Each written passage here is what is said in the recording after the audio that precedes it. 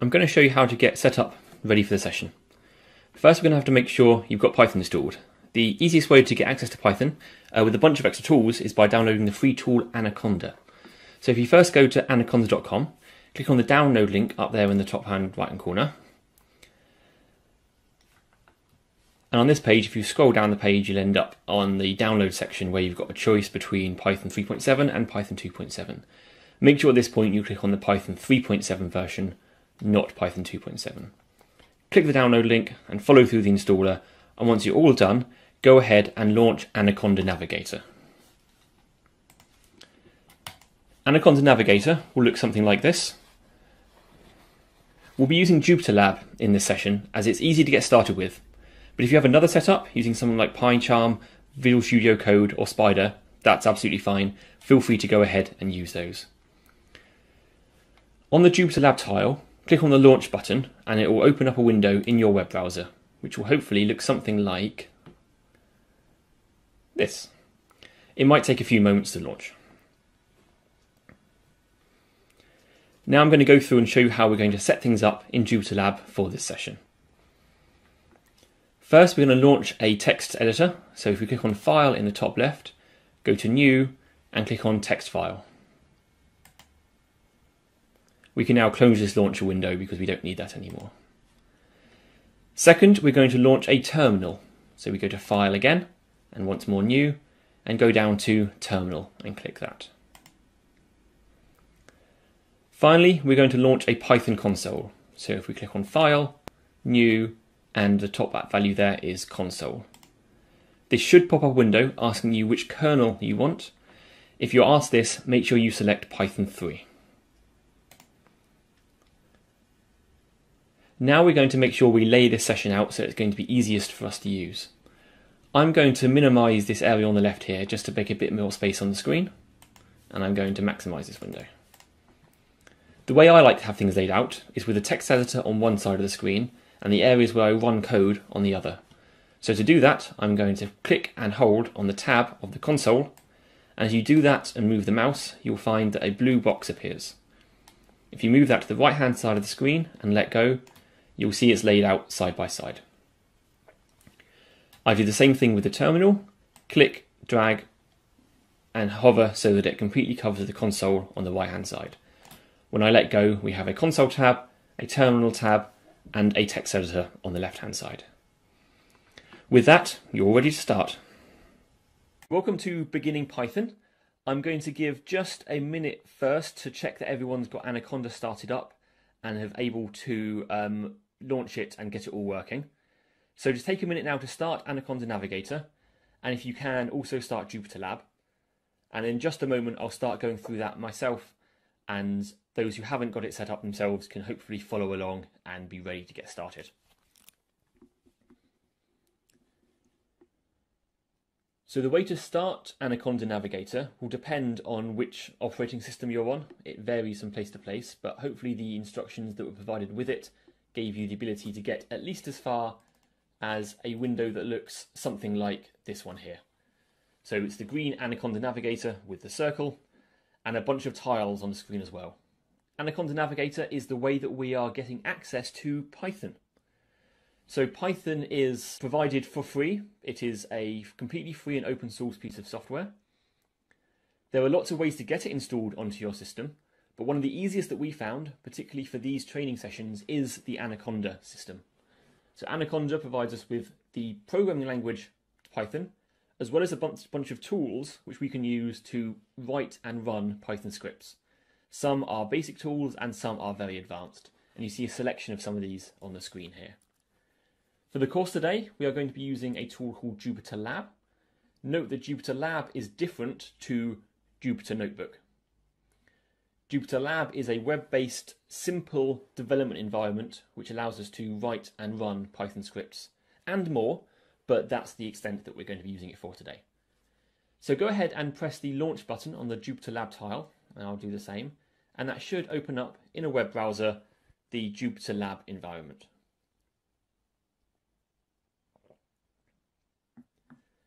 takes a few moments you see, your web browser should pop up. It thinks about it quite hard, you get spinny things, and then we are here. with that, I'm going to put Anaconda Navigator away, make this full screen, and nice and big. So you should end up in an environment something like this. If you've already followed through the video explaining how this stuff gets set up, then you'll automatically be left in the environment you last left it in. So it should all be laid out correctly. So the things we're going to be doing in the session today is writing Python scripts and running Python scripts. So there's two different tools that we are going to be using. Firstly, we're going to be using the text file environment to write our Python scripts. So I click on text file, and that has opened up this whole window here as a text file. It's just a text editor. I'm then going to open a terminal. To do that, I click in the plus in the top left, and then at the bottom here, I press terminal. I now have a terminal covering my screen. To make it easier to see everything that's going on at once, I'm going to click and drag on the terminal tab over to the right hand side so that I have the text editor on one side and the terminal on the other. This is all covered in the first video that we sent out, so if anything here isn't working or you've just missed what I did, feel free to have a look at that first video, it's only a few minutes long, to catch yourself up. I'm just going to do something which you don't need to do, so ignore this um, it's because I've got my files in a special place to avoid confusing things. There we go. So we're going to start off by writing our very first Python script. But before I jump ahead and do that, I'm just going to give you all 30 seconds or so to make sure you're up to speed with this. You've got your text file open, you've got your terminal open, and it looks largely the same as what you see on my screen. Bear in mind anything you have in this bit on the right might look slightly different, but it's basically the same. Hopefully everyone has now got their environment set up like you see on the screen here. So we're going to go ahead and run our first Python script. So before we can run any Python code, we first need to write some code. So let's go over to the text editor on the left hand side. And the first thing we want to do, because currently this file is called untitled.txt, the first thing we want to do is rename this file so that it has the correct file extension. So Python file should end with .py, not .txt. And secondly, untitled is a undescriptive name for what we're going to be doing. So if you right click on the file name in the file browser on the left hand side and go down to rename, so right click and rename, and we're going to select all of that text, including the .txt, and I'm going to call it script.py and then press enter.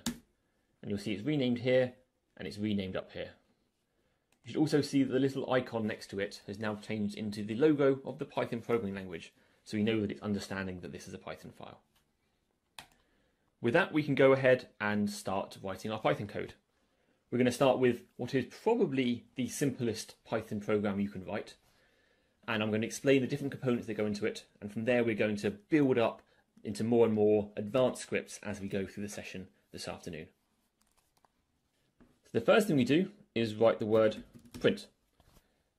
All lowercase and without any spaces before or after the word. And we follow that with an opening and a closing round bracket. This is the print function. Functions in Python are usually lowercase. They can't have any spaces in the name of the function. And a function is called by following it with an opening and a closing round bracket.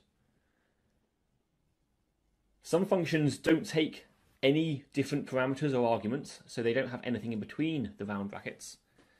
The print function, however, does take arguments, and the arguments it takes are things that we want to display onto the screen. So to give information into the print function, we have to put something in between those two round brackets. So what we're going to put inside there is some words. We're going to ask it to display some words onto the screen. The way that you represent words, or as they're known in Python, strings, is using pairs of double quotes. So if you do a double quote and another pair of double quotes, and then in between them we write hello. So what we have here is the word print, followed by an opening um, round bracket saying that we are calling the function, then we have the thing that we're giving to the function, the information that we want the function to process, followed by a closing round bracket to say that we've finished giving information to the function. You'll notice here that the text has been coloured green and red and so on. The specific colours aren't really important, it's just the way that the text editor gives us a bit of information. So it's telling us that it's understanding what's been written. Other editors that you can use um, won't have this particular colours, they might use blue and red or blue and uh, pink or any other colours in principle. The other thing to note is that the text here is just plain old text. There's nothing special about the program that we're running this in. We can write Python scripts in a basic text editor like Notepad, or you can use advanced uh, integrated development environments like Visual Studio.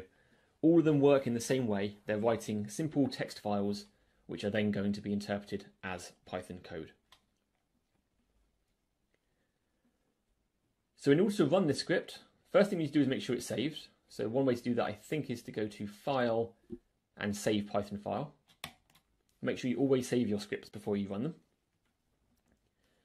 Now that we've saved that file, we can go over to the terminal. So we're going to write our Python scripts on the left and run them on the right.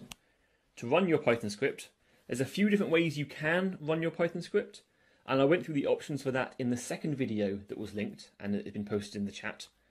So if you get anything, any errors coming up, go and check out that second video and that will explain what the other methods are and what kind of error message you might see. And have a go at them and if that doesn't work let us know in the chat and we'll give you a hand. But the way I'm going to be doing it on my screen is by running the pro program Python. So I just write the word Python ignore the dollar sign that's just something that's built into my terminal that's there by default you see that's just telling me that this is a terminal I write the word Python followed by a space and then I give it the name of the script it, I want it to read, scripts.py. And so what's going to happen here is that this program here, which is called Python with a lowercase p, is going to read the file that I give it, which is this text file over here, and it is going to read that file one line at a time. It's going to look at the text on that line. It's going to interpret it, assuming that it's written in the language Python. Python is a language as well as a program. So as long as we've written some text in this file in the Python language, then the Python program is going to be able to understand it and do the things that we've asked it to. It's going to read it one line at a time and do the things on that line, then read the next line and do the things on that next line, and so on and so on until it gets to the end of the file, at which point it will exit and say, I'm all done, success. So to tell it to actually kick off that process, in the terminal over here, after writing python space script.py, we just press enter. And we see here it has done what we've asked it to. It has printed, this is a bit of computer jargon, print in computer jargon generally means display on the screen. It doesn't literally mean print out of a printer.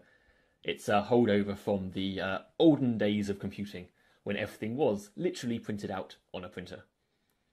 But it's displayed the text on the screen, hello, the same as we wrote in our file over here. It has then returned us back to the terminal prompt, the same as it was before, with a flashing cursor, ready for us to run the same thing again.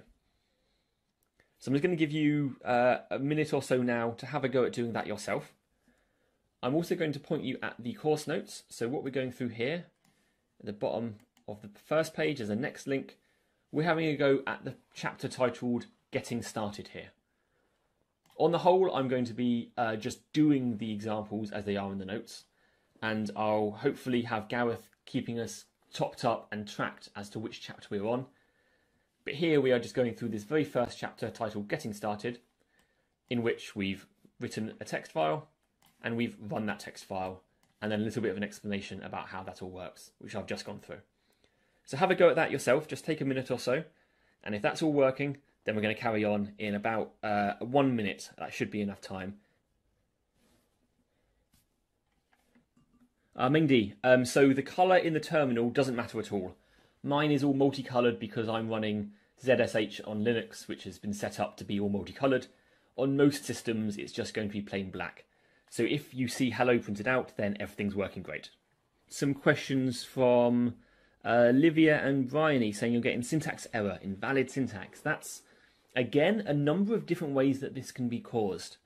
There's two main types of errors that Python has. There's errors that happen while the program's running, like you've tried to divide by zero, or you're trying to use some information that it doesn't know is there. The other type of error is a syntax error, And that's when your file is written in something which isn't valid Python language. So the first thing to check is that your Python script looks exactly the same as it does over here. That you're using double quotes and not backticks or anything like that. That you're using round brackets and not square brackets or curly brackets. And that everything is in the same lowercase print as you see here. Do you get anything else printed out in the terminal apart from the syntax error? Could you copy and paste the entire thing of you running the script and the output in the chat, and that might help me uh, work out what's going on there. Ah, okay. I see what's going on here. So this um, will happen if you've accidentally got yourself stuck in the Python interpreter. There's a thing that happens if you just type Python and press enter. So don't do this, I'm just demonstrating. If you do this, you end up in an environment where you've got these three arrows here. Now this is like a terminal, but it's slightly different. If you end up there, type exit and then open and close round bracket and press enter. And you should end up back at the non three arrow terminal. Once you're back at the normal terminal, you should be able to type python scripts.py and you should get the text printed out. So I'm just going to clear my terminal on the screen there so that it has a bit more space. Don't worry about doing it yourself, just clearing out what we see. So in Python, um, there are a bunch of different types of data that you can have. The types of information we've used so far has only been one type of data. We have had a string. They're called strings because they're kind of like a string of letters chained together. It's another bit of jargon which you will get used to. So we have a string here. Hello is a string. Strings are designated by having open quotes at the beginning and open quotes at the end. But as well as strings, there are also different kinds of data types. I'm just going to run the script over here. As a shortcut and a tip, if you're in the terminal and you press the up key on the keyboard just once, it will bring up the previous command you ran. So you can press up on the keyboard and then press enter, and it will rerun that same previous script. I'm going to change this print function here now so that it prints something else. So instead of printing hello world, I'm going to print a number. So 3.14159, that's more than enough digits of pi. You'll see here that the number is green, where the string was red. That's just a decision that the highlighting in this text editor has decided. Again, the colours aren't particularly important. They're just there as a visual aid. You'll notice again there's a black circle here, and I'll point this out in the video, but make sure that before you run your script, you save the file. On Windows and Linux, it's Control S, and on Mac, it's Command S to save the file, or you can go to File, Save Python File. I'm going to use Control S. So now if I run the script by pressing up and enter, we get our number printed out. Okay, so we've got strings, we've got numbers, and we also have uh, integers which don't have decimal places. That works very well. So if we save that and run that, we just get the number three getting printed out. So Sam in the chat is asking, why don't you need quotes for numbers? So the reason for that is Python uses syntax to work out what you're trying to tell it. There are fundamentally different types of data that you deal with in programs. There are words which, as a human, you interact with because you're trying to describe something to someone, like saying hello. And when Python is reading this, it will see the string and it will say, okay, I know that you're not, this stuff inside the quotes isn't special in any way. It's just something that a human would understand, and I don't need to worry about what's inside those quotes. If it sees just as it's reading along the line, you know, one letter, one letter, one letter, and it gets to here and it sees a number that's not inside quotes, it's going to treat it as that particular uh, mathematical number. And it's important because something we're about to see in a moment that mathematical numbers in Python you can do maths to. You can do 3 times 2 or 3 divided by 4, and that's going to give you another number. Whereas something like hello, it doesn't make sense to divide hello in quotes by 3 because there's no description of how you divide a string by a number. And so by being explicit from the beginning about what kind of data you're dealing with, it lets Python know what kind of operations can be done to it. A thing to be aware of is that the string 3 is different to the number 3. This one up here, Python will just see as some words which humans understand and it doesn't have to care about. This second one here, it will see as the mathematical number 3 which it can do something with.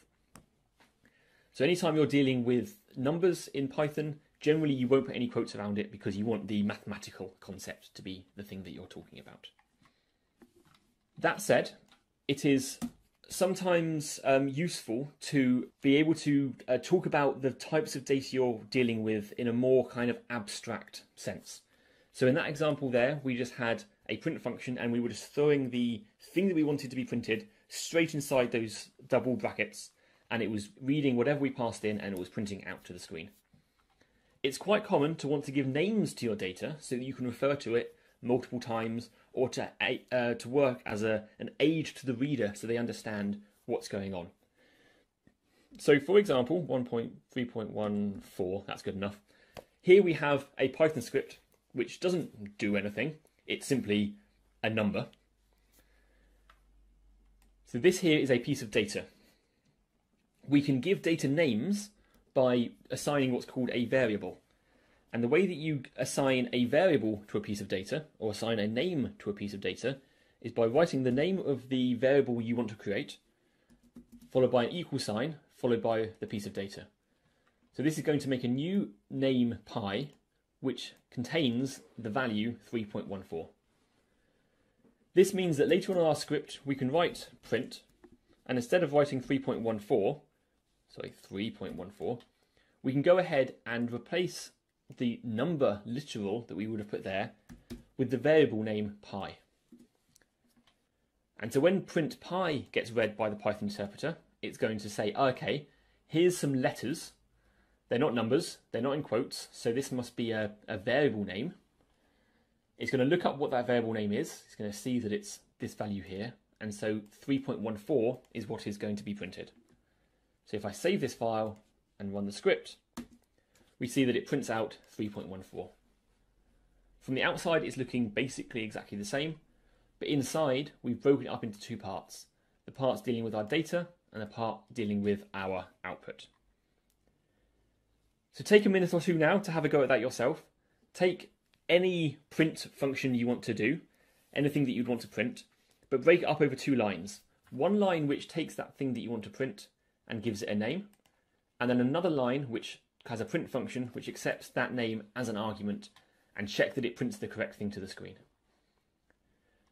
Be aware that variable names can't have spaces in, they can't start with a number, and there's a few other constraints which you might find as you go along.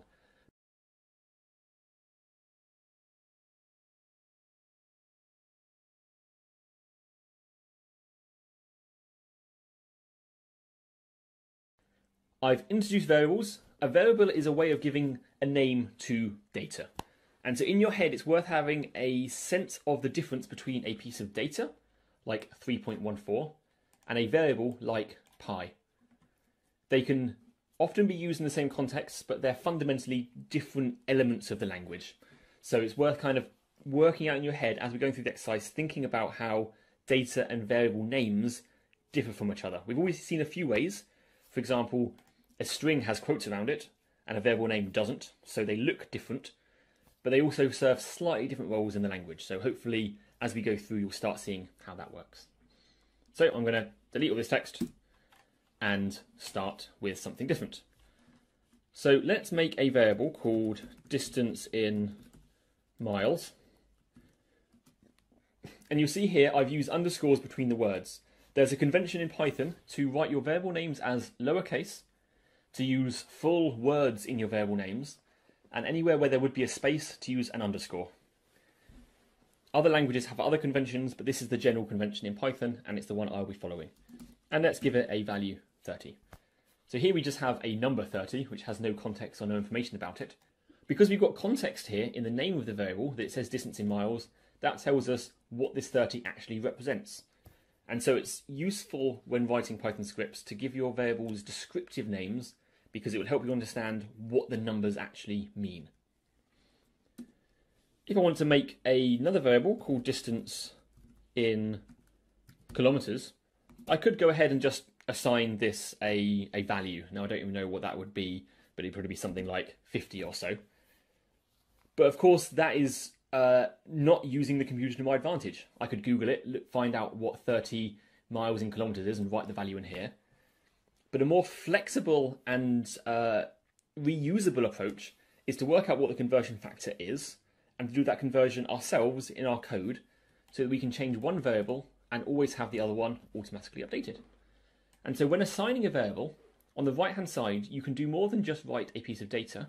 You can also refer to other variables.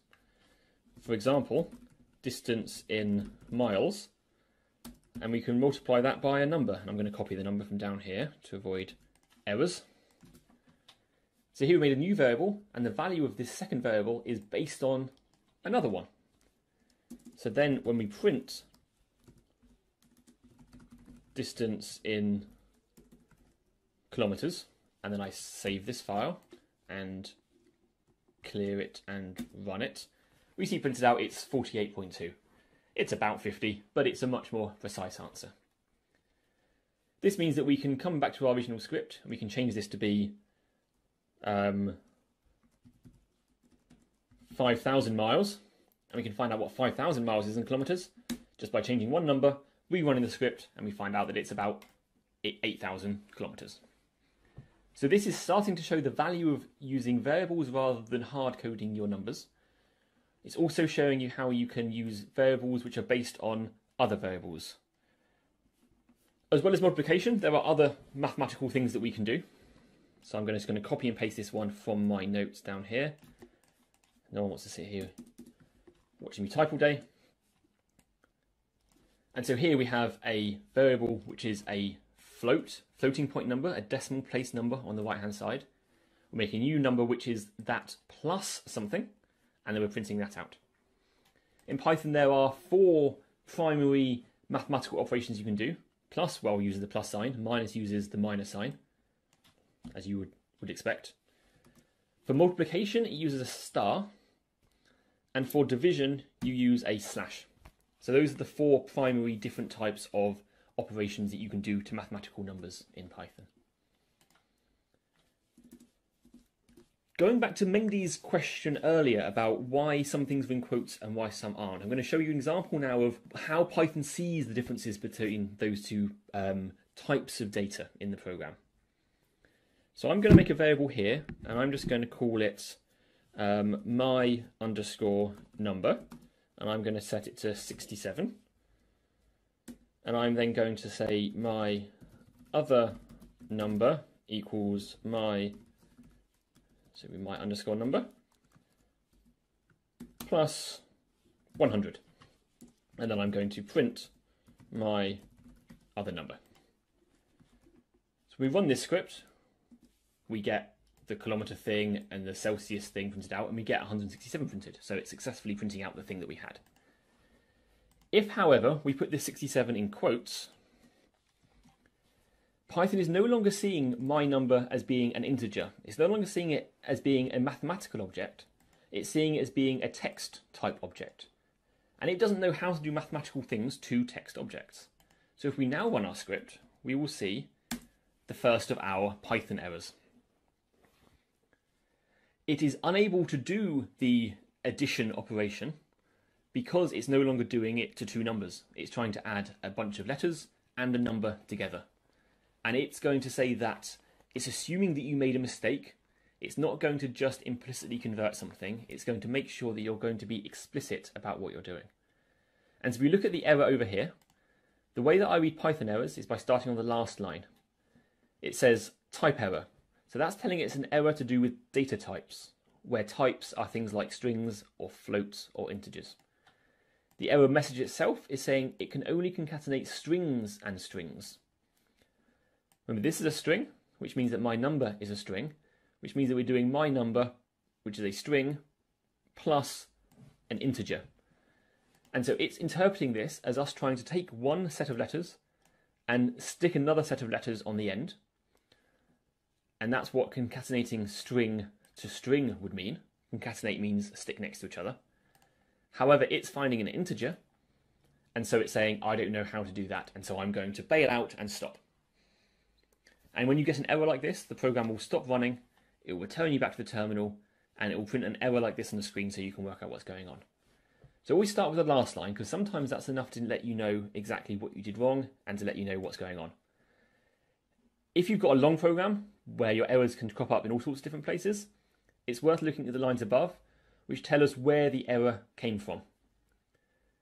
This line here tells us which file we were on, which line we were on. We see it's on line 14. This is why programmers always have the line numbers turned on in their text editors. And then this line here in the output is the exact line that we had in our text file to give us context to let our brain jump back to the error a little bit more quickly.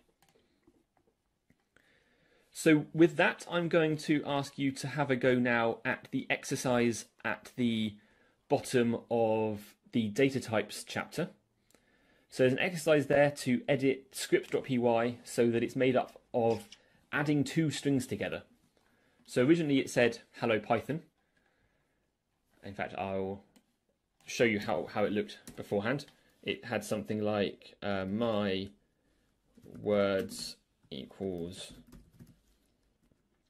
hello Python, and then it was print my words. It might have had a different variable name, but that is not important. So have a go at taking this little program here, but breaking up this line here into two separate uh, variables, one which has the word hello in, one which had the word Python in. Make a third variable, which is those two things added together, and then print that out and make sure it looks how you expect. Once you've done that, carry on to the end of that data types chapter, there's a section there on printing multiple things. So have a go at that, reading through that, and having a go at that exercise as well. Mengdi there has a question about is there a difference between my underscore words and my words with or without the underscore? So the first thing I would say to that question, Mengdi, is the best way to find things out is to try them for yourself. You'll often discover something really interesting if you have a go with something and it works or doesn't work how you expect. That said, I will go that, through that with everyone because I think it's an interesting thing to look at. So here we made a variable called my underscore words. If I delete that underscore and put a space and put a space here, and then we try and run this script, I'm going to clear this and run the script, we get a syntax error.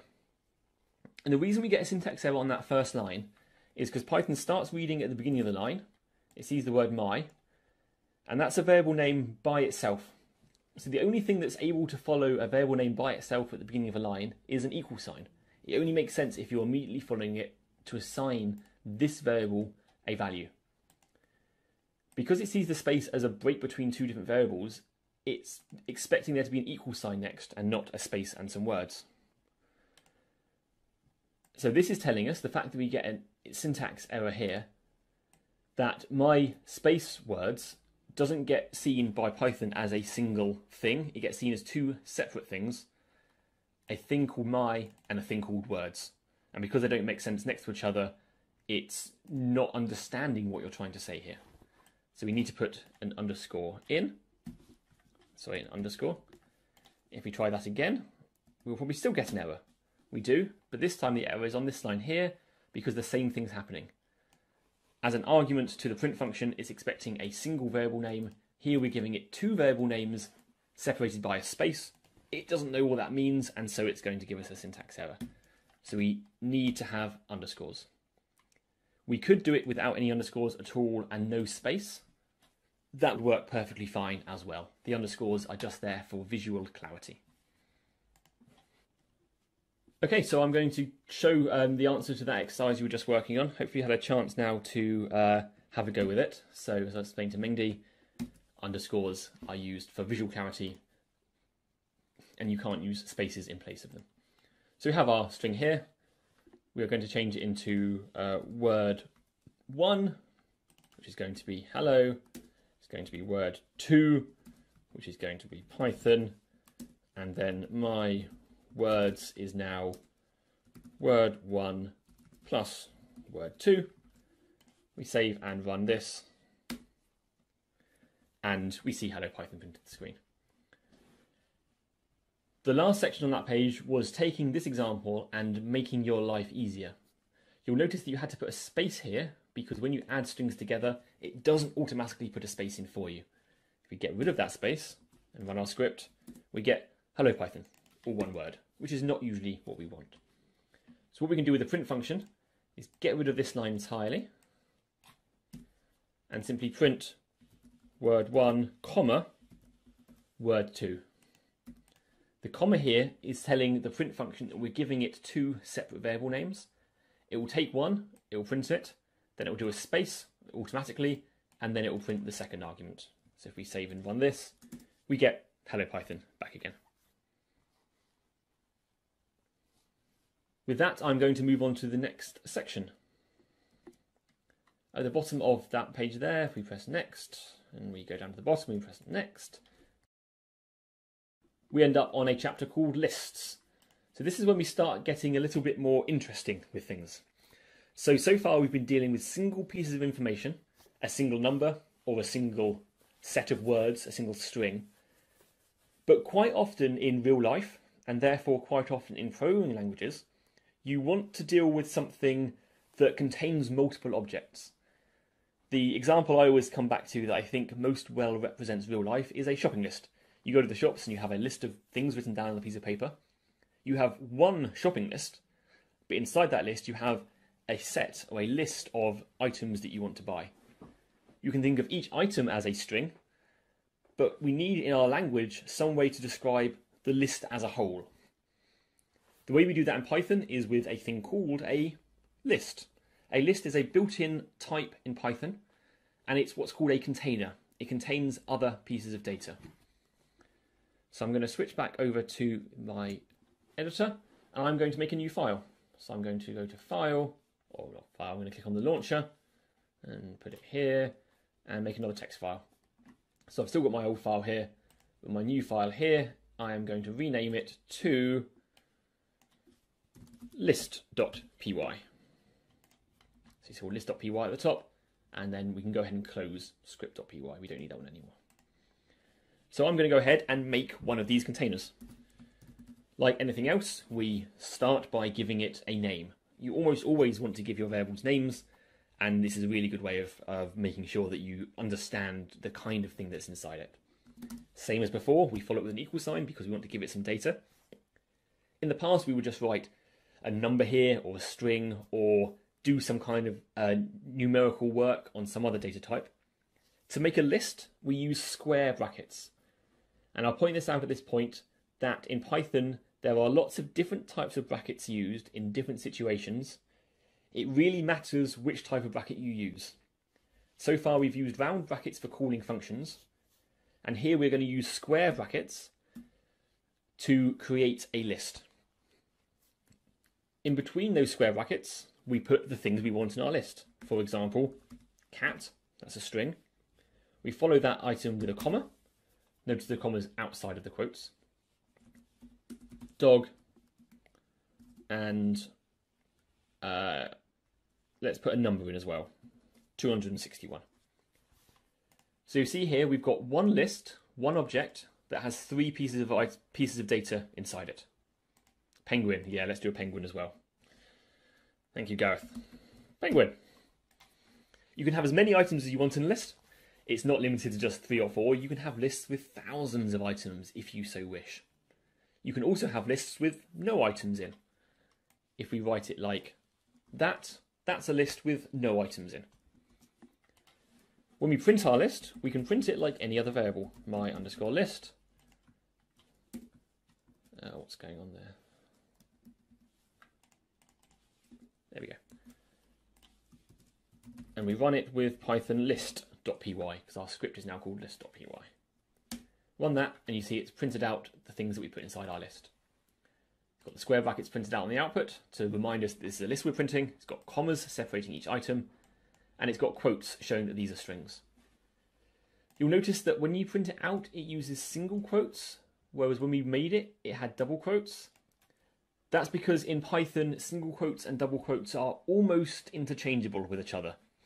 There is a subtle difference between the two, but largely they mean the same thing. The convention is usually to use double quotes when making strings. However, regardless of what you make your string with, when it prints out, it will print with single quotes due to a, an older conventions. You know what conventions are like, they change every week. So have a go at that yourself. Make a list with some items inside it. Try putting some strings in there, some numbers, some floats, all sorts of different things. And make sure that you can print it out and it shows up on the screen correctly.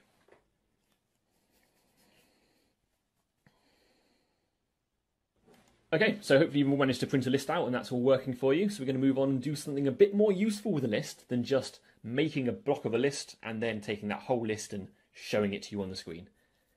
With a shopping list, you don't just deal with a shopping list on the whole, you deal with the items inside the shopping list. And so we need a way in our language to get access to the items inside.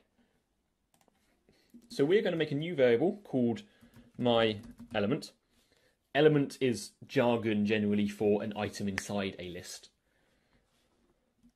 Though the jargon isn't really consistent and you'll see it change later, but nonetheless it's often used for that.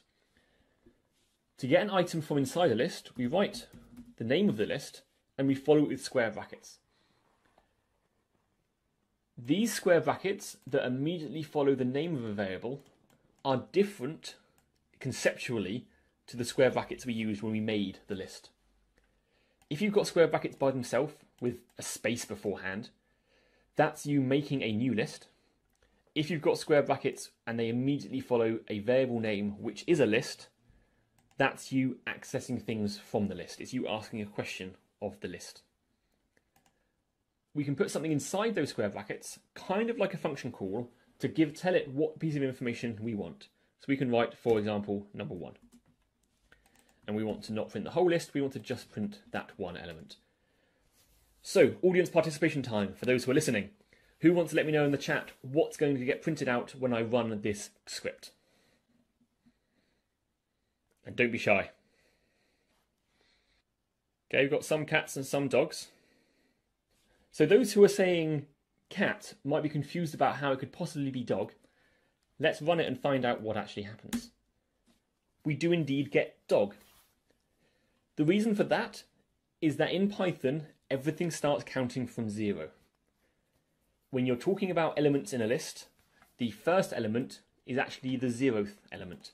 This is item zero, this is item one, this is item two, and this is item three. Everything in Python starts counting from zero, and it is very consistent with that, and so it's a thing that's worth remembering. If we change this to my list 0, at this point we should indeed get cat printed out. By that logic, if we want to get penguin for Gareth there, if we do it with number 3, we should get penguin printed out. Next pop quiz. What happens if I put in 7? What's going to get printed out here? Any guesses? Great, everyone's telling me that it's going to print an error. I expect by this point many of you are used to seeing errors because Python does throw them at you quite readily if it thinks you've done anything even slightly wrong.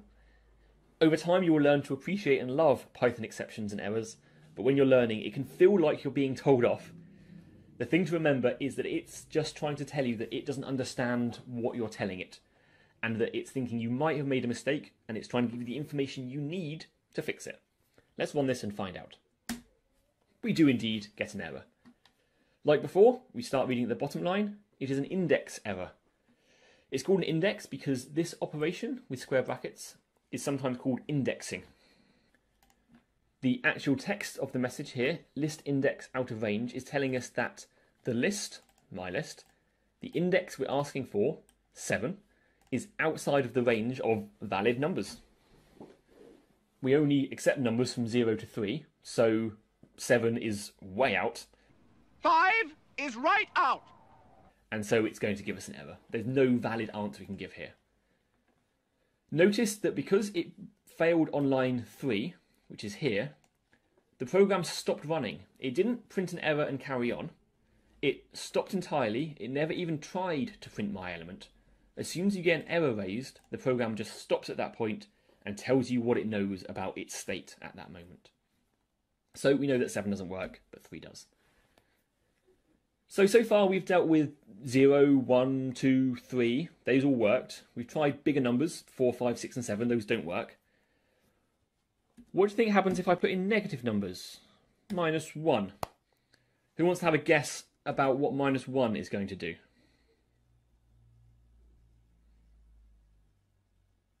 Costas thinks penguin, and you're not sure. Ricardo's guessing the same thing. Let's find out. Let's run it. We do indeed get penguin. We get the last element.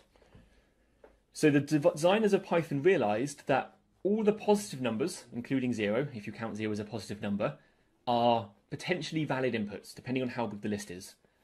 But you would never have any meaningful meaning applied to a negative index. It just doesn't make sense because we are counting. We aren't dealing with uh, mathematical uh, comparisons and so on. So they realised that because all the negative, negative numbers are free to be used and they don't have any uh, ambiguous meaning, you can use negative numbers for whatever you want. And they decided that minus 1 should mean the last item. And in fact, beyond that, negative numbers just count backwards along the list. So minus 2 will give us 261, minus 3 will give us dog, and minus 4 will give us cat. If we try and go to minus 5, we'll see that once again, we get an error. I'm just going to clear my screen up so that it doesn't disappear off the bottom. Minus 5 gives us an error because indeed there's no negative things over here. It doesn't just loop around forever, it's bounded by the size of the array. The last thing I want to show you on this section, which comes to Rachel's question, and I'll come to your question in a moment, Rachel, once I've covered the basics of slicing, and that is so far with indexing, we have simply selected individual numbers. We've asked for this element, or this element, or another element. Or we've asked for something which doesn't exist by going off the beginning of the list or off the end of the list. It's quite common with lists or with any kind of uh, container which has things in an order to want to grab a selection of items. So let's say we wanted to select items dog and 261. We can do that by using what's called a slice. It uses the same kind of syntax as we have here. So we still use the square brackets, but inside the square brackets we tell it where we want to start selecting from and where we want to end selecting from. So we want to select from here to here. So dog is item 2, and we want to go as far as, but not including, penguin. Uh, no, sorry, dog is item 1, see, even I get mistakes. And we want to go as far as, but not including, penguin, which is item 3. The way I like to do the numbers here, because 1 3 doesn't intuitively say to me those two items, is that I count the commas in the list as a way to remember what numbers I should put here. I imagine there's a zeroth comma here because zero is invisible, so there's no comma. So this is comma 1, this is comma 2, and this is comma 3. So if I want to select from this comma to that comma, I do 1, 3, and that's going to give me this slice of the list. So when I print this, I get dog and 261. It's this subset of the list. Now, coming to Rachel's question, she asked, is there a way to get, say, the last three elements? Because if you do minus 3, minus 1, it will print the last three and two elements, but not the last element. Okay, so let's work up towards that question. So here we've got 1 and minus 3. If you remember earlier on, number 3 referred to penguin, but also number minus 1 referred to penguin.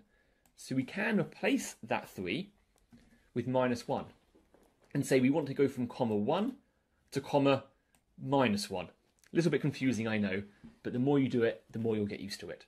So this is going to give us that same set of numbers. Likewise, this is comma minus 1, minus 2, and minus 3. We could change this to be minus 3 minus 1. And we print this and we get the same bit of information. Now Rachel was asking, how can we get it to include penguin as well?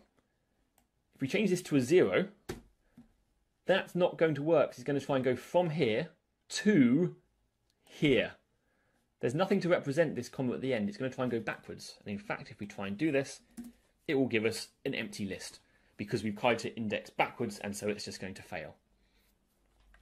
If we want to go right to the end of the list, there's a special shorthand, and that is you just leave that space there blank. you say go from minus 3 to infinity effectively.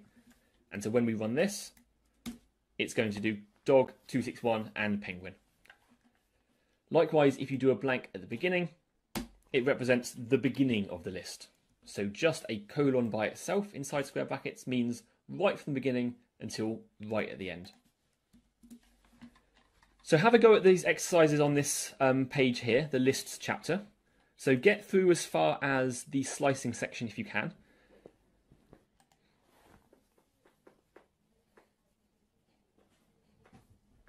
The last thing I wanted to cover in this list section is how you can go about changing lists. So far the lists we've made have been static objects. They haven't had anything changing in them as we've been using them. But of course, lists are most useful if you can use them to collect information as you're going through your program, collect information in them, and then do something with that information at the end. So let's change our list here so it just contains animals. Let's delete this my element thing because we're not going to be grabbing something out of it. And let's print my list. This is now just going to print cat, dog, penguin. Let's pretend that what we're doing here is making a, a list of the animals that we have on our very strange farm. It's got cats and dogs and penguins. Maybe it's our pets. Maybe we've got a pet penguin. Maybe we're that lucky. In order to add something to a list, we write the name of the variable and follow it by a dot. After the dot, we write append. Append is a function, and so it takes brackets to call the function, just like print does. Inside those brackets, we pass an argument, which is the next thing that we want to add onto the list. Someone give me uh, an example of an animal to add in here. Rat, there we go, wonderful. So when we run this, we will see we get cat, dog, penguin, and rat, all our pets. So what's going on here is we are referring to our list. This is the object, this is our data container that we have. By writing dot append after it, we are calling a special kind of function, which is often called a method. That's just a bit of technical jargon, but they are relatively interchangeable terms, method or function, on our object. So the fact that it's a dot followed by the name of the function says that this function is going to be affecting this piece of data. And depending on what the append function does, it is going to take whatever's passed in and do that thing to my list. In this case, the append function takes whatever is at the end and call and uh, takes whatever is passed in and adds it to the end of the list. Emma is asking, how do you add rat to be the second in my list? So there's two ways of interpreting that question, and I'll try and cover both of them. One is that maybe you are asking how you can overwrite the second item. So maybe you want to take what would be dog, second being number one, remember, and you can assign that to be rat. This is going to take this list, then it's going to find my list one, which is dog, it's going to overwrite it with rat. If we run that, we see that dog has become rat. If, however, you want to insert it into the list, this is where I can't remember everything. I believe there is an insert function. Let me just uh, let me just Google it because that is how we learn. Python insert list.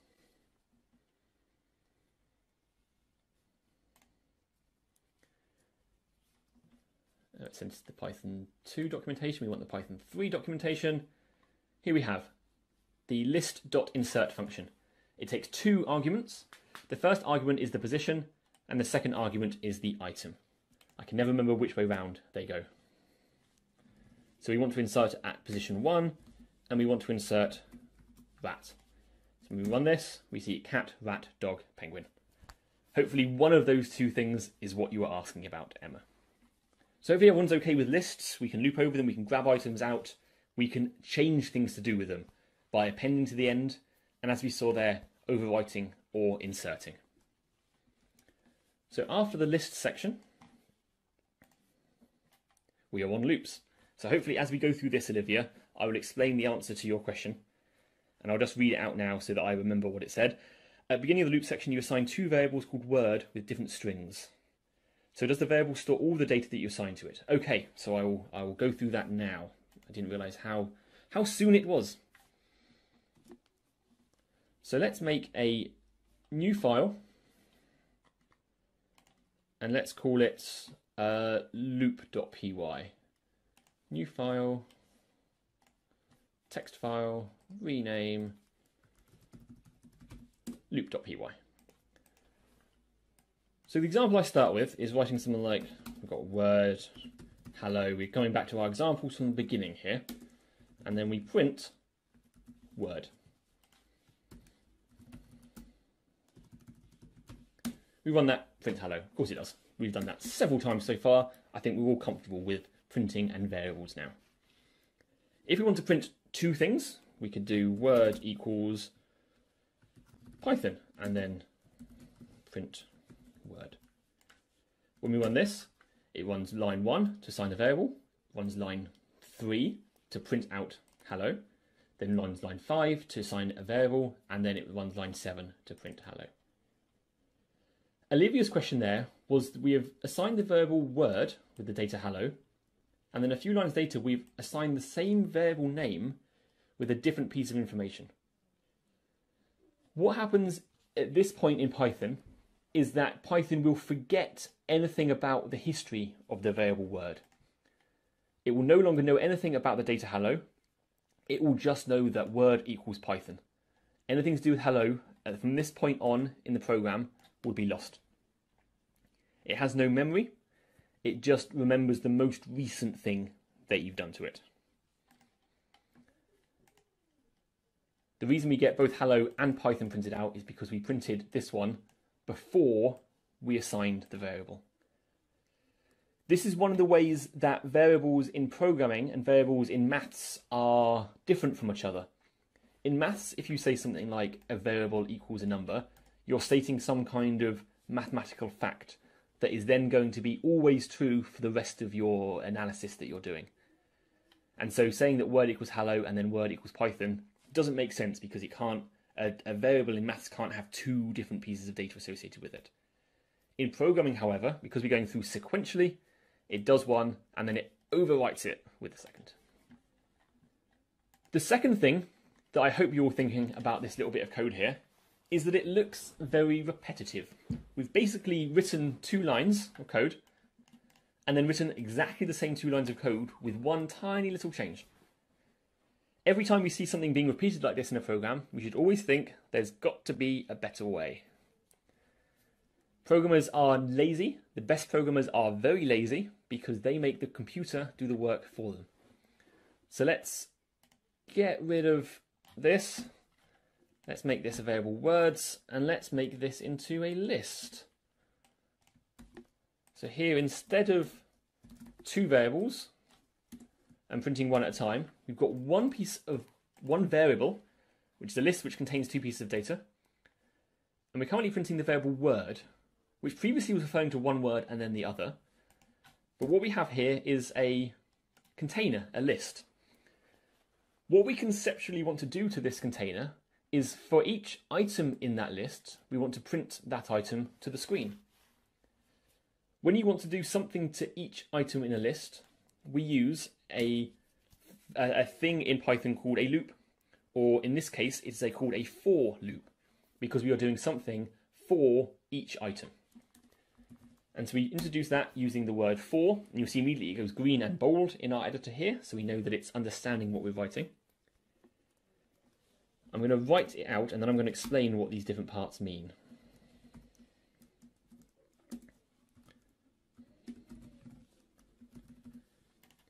So the way I like to think about the structure of a for loop is first we just look at this line up here. This is the part that introduces the fact that we are going to be repeating ourselves.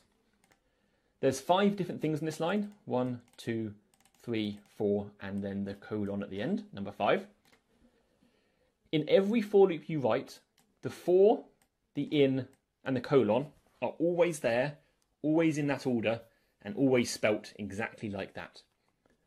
Those are the fixed scaffolding that we use to construct our repeating for loop. The places that we have flexibility and artistic license inside our for loop are in the other two locations, here and here. I'm going to start with the second of those, between the in and the colon. This is where we write the thing that we want to loop over.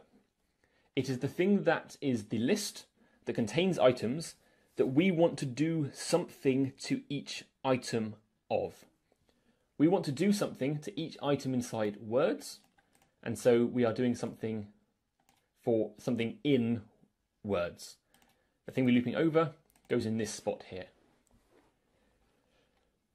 While we are repeating ourselves, while we are doing something to each item in this list, we need to give a name to the current item. We need some way to refer to it. Earlier on, we were referring to items inside a list using square brackets and numbers. But because here we're just going to be looping over the list, we don't care what number we're at. We are just going to be dealing with one item at a time as we're looping over the list. And so to make that work, we have to give each item as we come to it a name. We're only ever, ever going to have one item in our hands at any one time. So only have to give one variable name. And the variable name we're going to use is word. It doesn't matter what you write here, you can give this variable any name you like.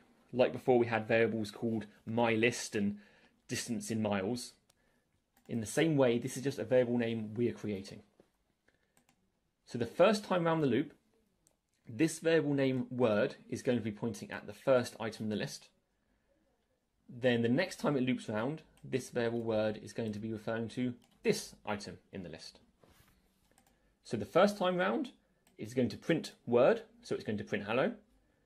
Is then going to repeat itself and it's going to print Python. Let's check that that works. There we go. It prints out exactly the same thing as it did before, but what was previously four lines of code is now only three lines of code.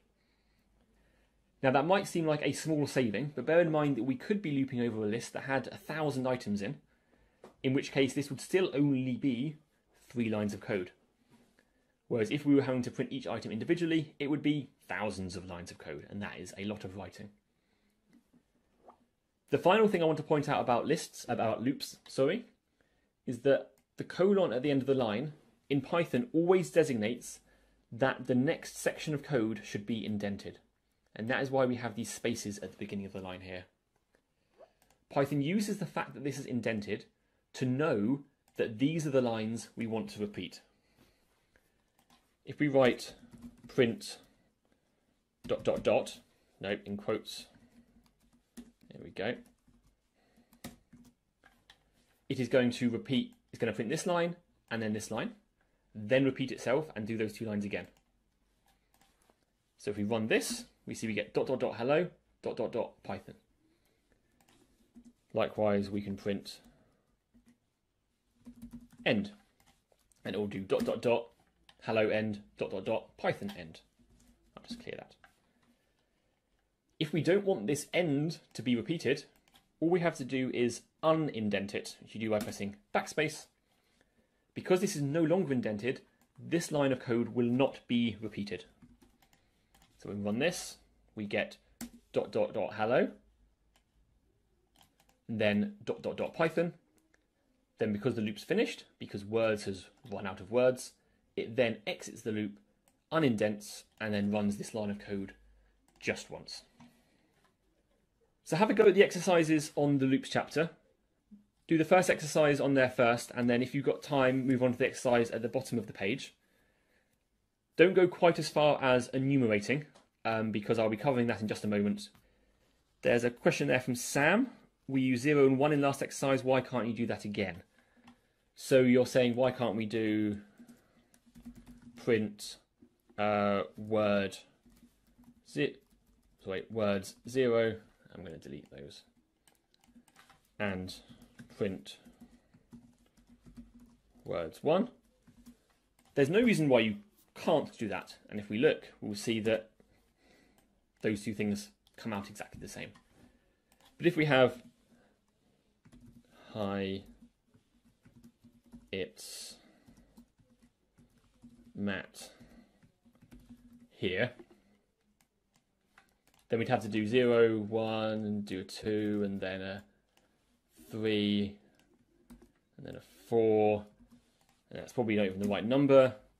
Hi, it's Matt, and I did miscount it, so they have to do a 5.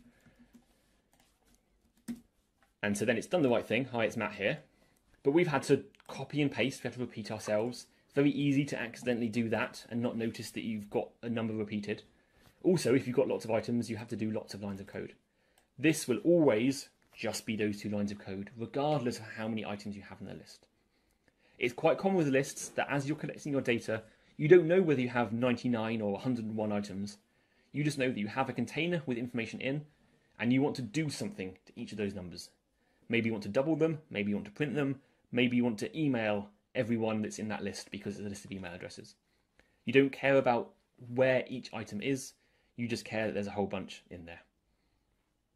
So yes, it is it certainly is possible, but looping gives us the flexibility that we wouldn't otherwise have. Kunal asks, what if we want to print each item twice? Let's have a look. I'm going to simplify this back to where we were. So here we do this and it prints each item once. If we want to print it twice, we can just write print word twice inside it. If you want to do it three times, well, we could copy and paste it again. But as you can see, we're probably starting to get the point where we're repeating ourselves quite a lot. So as Gareth says in the chat, you can actually make a loop inside your loop. You could do another for repeat in. And the way that you uh, repeat things a certain number of times is by using the range function, range 3, print word. And here, when we run this, we get it happening three times and three times. So then if we want to do it 100 times, we could just change that to 100. And it would print each word 100 times. Uh, yes, so range is a special word. It, or rather, it's a built-in function. In the same way that print is a built-in function, range is a built-in function. The job of the print function is to take the argument and display it on the screen. The job of the range function is to take the argument and to give us back a list containing that many numbers. Ronald, I'm glad you asked because that's exactly the next little section, which I'm going to cover now, and then we're going to have a little break for a bit because we've been at this for nearly an hour and a half. So let's have a look at how to answer Ronald's question. So they're asking, what's a concise way for accessing the current index slash iteration inside the loop? So here we are looping over for word in words. The thing that we're looping over is this list.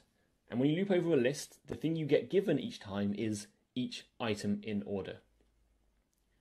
If you want to get each item and its position, there's another function called enumerate, which means give numbers to, which when we run it, we get back the index and the item. It gets given this back to us in this form with the brackets and the commas and stuff, which is useful, but it means that we can't access those two pieces of information separately from each other. So if we want to get access to the two things individually, we can take the fact that enumerate is giving us back a pair of things each time. And so instead of having one variable name here, we can have two variables separated by commas where i is going to be assigned the first thing that's given back, 0 the first time, and word is going to be assigned the second thing that's given back, hello. So then now if we print um, item i is word, it'll print item 0 is hello, item 1 is Python. Kunal's question. So that's a question about documentation. How do I find suitable function for my tasks? There can be 100 built-in functions which I don't know about. So let's go to docs.python.org, exactly as Gareth's linked there. So the page that I was on before was a page called built-in functions. So you can go to the search, built-in functions. And then you can never find them. So what happens here is I go to Google and I search for Python built-ins, which is almost certainly what Gareth did. And there's a link here to built-in functions. And we have here a list of all the built-in functions, which include print and enumerate and range. And that gives you information about what's going on there. In general, the Python documentation will have some have information about every single thing you can do with Python the language. It's not always easy to navigate through here. So on the whole, the way I get there is by Googling for Python followed by the thing I want to search for. Like Python insert into list is what I searched for earlier. That will take me to the Python documentation. I end up in the right place.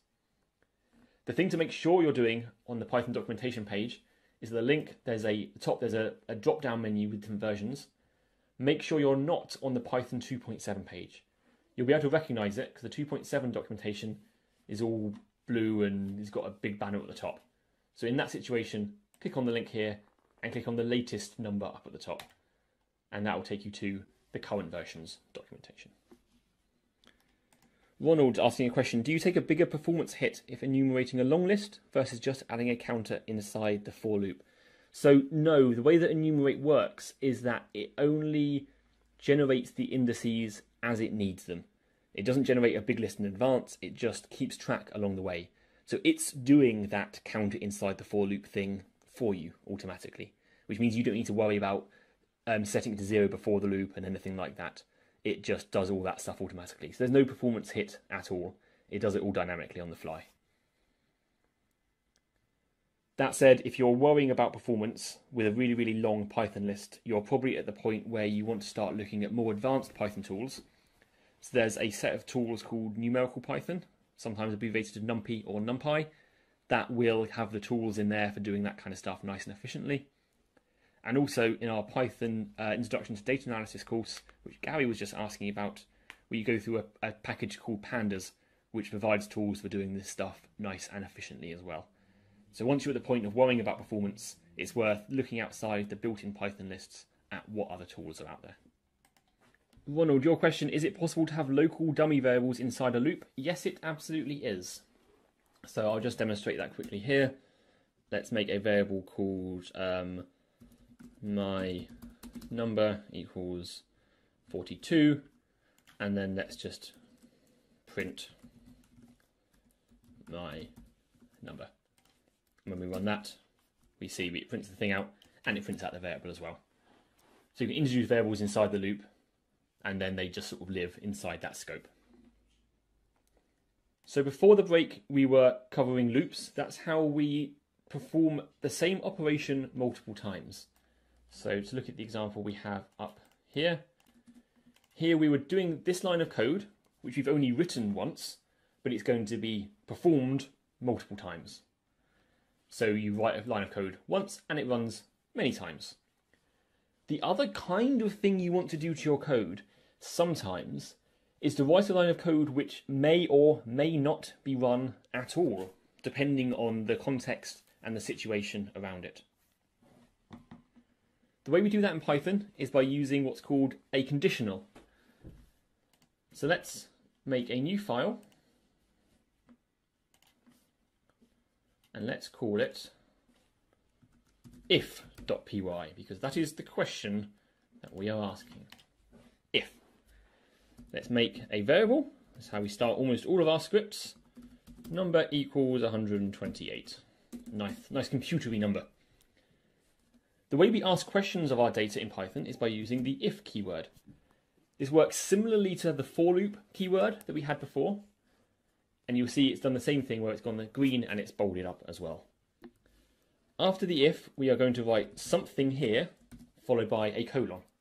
Similar to the for loop where we had our scaffolding of the for, here we have the word if, and we have a colon at the end of the line.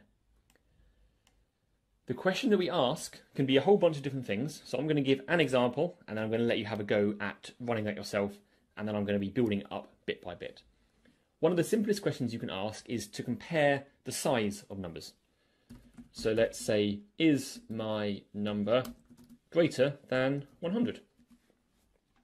So this bit here is whatever we want it to be as long as it's giving back something which is true or false. This means greater than, And if you have something on the left and the right that are numbers, it will compare them and give us back true or false, depending on whether they are bigger or not. If this thing returns true, if my number is bigger than 100, then it will run whatever code is indented in the block below, which in this case is going to be our trusty print statement. My number is large. So if my number is bigger than 100, it will run this line. If my number is smaller than 100, it won't run that line at all. Oh, no, that's not what I meant to do. That's what I meant to do. Python if.py. 128 is large. Copy that code into your own script, into a file called if.py. Do the same things I just did there and make sure it prints out the same output. Then try changing my number to be different things, negative numbers, numbers that are near to 100, numbers that are small, numbers that are much bigger than 100. See what you get, have a little play, and make sure you understand what answers it's giving you back. So I had a go here and I set my number to be 999 and it likewise printed 999 as large. But if we make this smaller than 100, like 50, and we run it, nothing gets printed out. It just does nothing at all. So if we wanted to print out something if our number is less than 100, we need to use a different operation. Instead of saying is it greater than 100, let's change this to be less than, and let's say is it small. So now when we run this, it says 50 is small. As well as, I'm just going to do some stuff down here. So greater than means uh, greater than. This means less than. Greater than sign followed by an equal sign means greater than or equal. Hopefully you can guess that that means greater than or, no, sorry, doesn't mean that at all, it means less than or equal. If you want to check whether two numbers are exactly the same as each other, you use two equal signs next to each other. If you use a single equal sign, it will give you an error. If you want to compare numbers, you use two equal signs. Are they equal? And if you want to check that they are not equal, you can use exclamation mark equal sign. Are not equal. Are they? Let's be grammatical. So have a go now at tweaking your if statement to use a different sign, update the little comment so that it does something that we print something that makes sense. Just have a little play with a few different uh, operators, as they're called there, and see and check that they make sense to you, and then we'll be moving on to the next little section.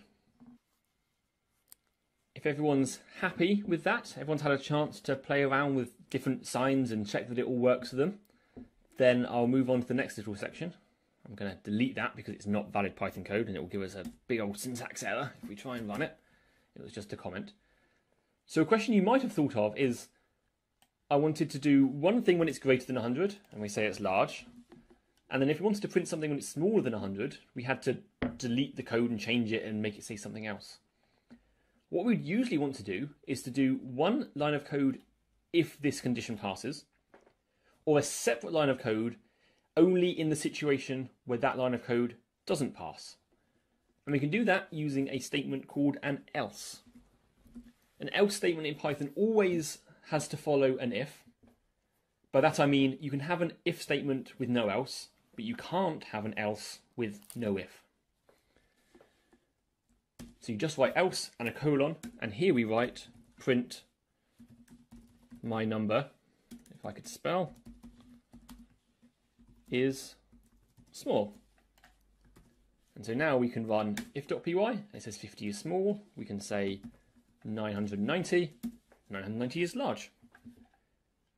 If we do 100 exactly, it tells us that 100 is small, because 100 is not greater than 100, it is equal to 100. Okay, so Olivia has a question about the indentation here. So the indentation here gets interesting. Um, there is a consistency across Python with how indentation is treated, so it's worth taking some time to understand what's going on. The way the indentation gets applied is any line that's indented is always associated with a colon before, and that colon and the indentation associates this block of code with this statement here. So we could print hello as well. So these two lines of code are indented, so they're associated with the if parsing. This block of code is indented after following this colon, and so it's associated with this else.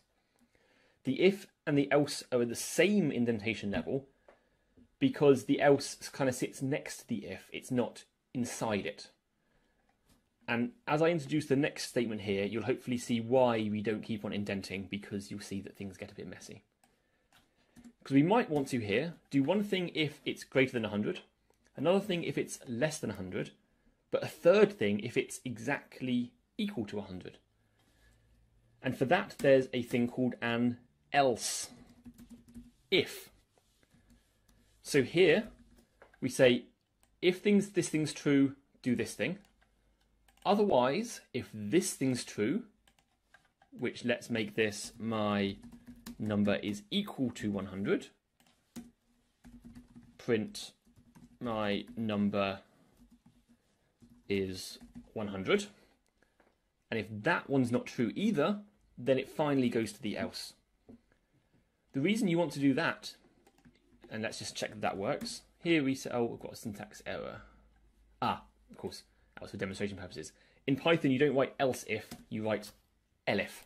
It's an abbreviation they introduced for whatever reason. Here it says 100 is 100 because it's taken this number, my number. It's not larger than 100. It is equal to 100, and so it's printed this, and then it stops checking. When you're going through a chain of ifs, elifs, and elses, it will check from top to bottom. The first one that matches will run that block of code, and then it will drop out and not check anymore. And the reason you don't want to keep on indenting these things is because you can have as many elifs as you want. You can obviously have zero, because we saw that already. But you could also have a second one which checks if it's 42. So 100 is 100. 42 is 42. And 13 is small. If each of these times we had to indent our code, we would end up disappearing off the right hand side of the page by the time we checked all our different conditions. And that is why we don't have to indent each block as we get to it. So for the exercise here, I want you to take this block of code, or a similar block of code if you've got different else's and, else's and ifs, and put it all inside a loop. Remember before I showed that you can nest loops inside of other loops? You can also nest uh, if statements inside of loops, inside of loops, and vice versa. So take these lines of code, nest them inside a loop, and loop over a list of numbers and check each of those numbers in turn and print out whether they're large or small or whatever else you want to check up on. I'm going to do it alongside you all on the screen here so that you can see um, how it works and then I'll check back with you in a few minutes and then we'll be ready to move on to the next section. So this is the exercise at the bottom of the conditionals chapter.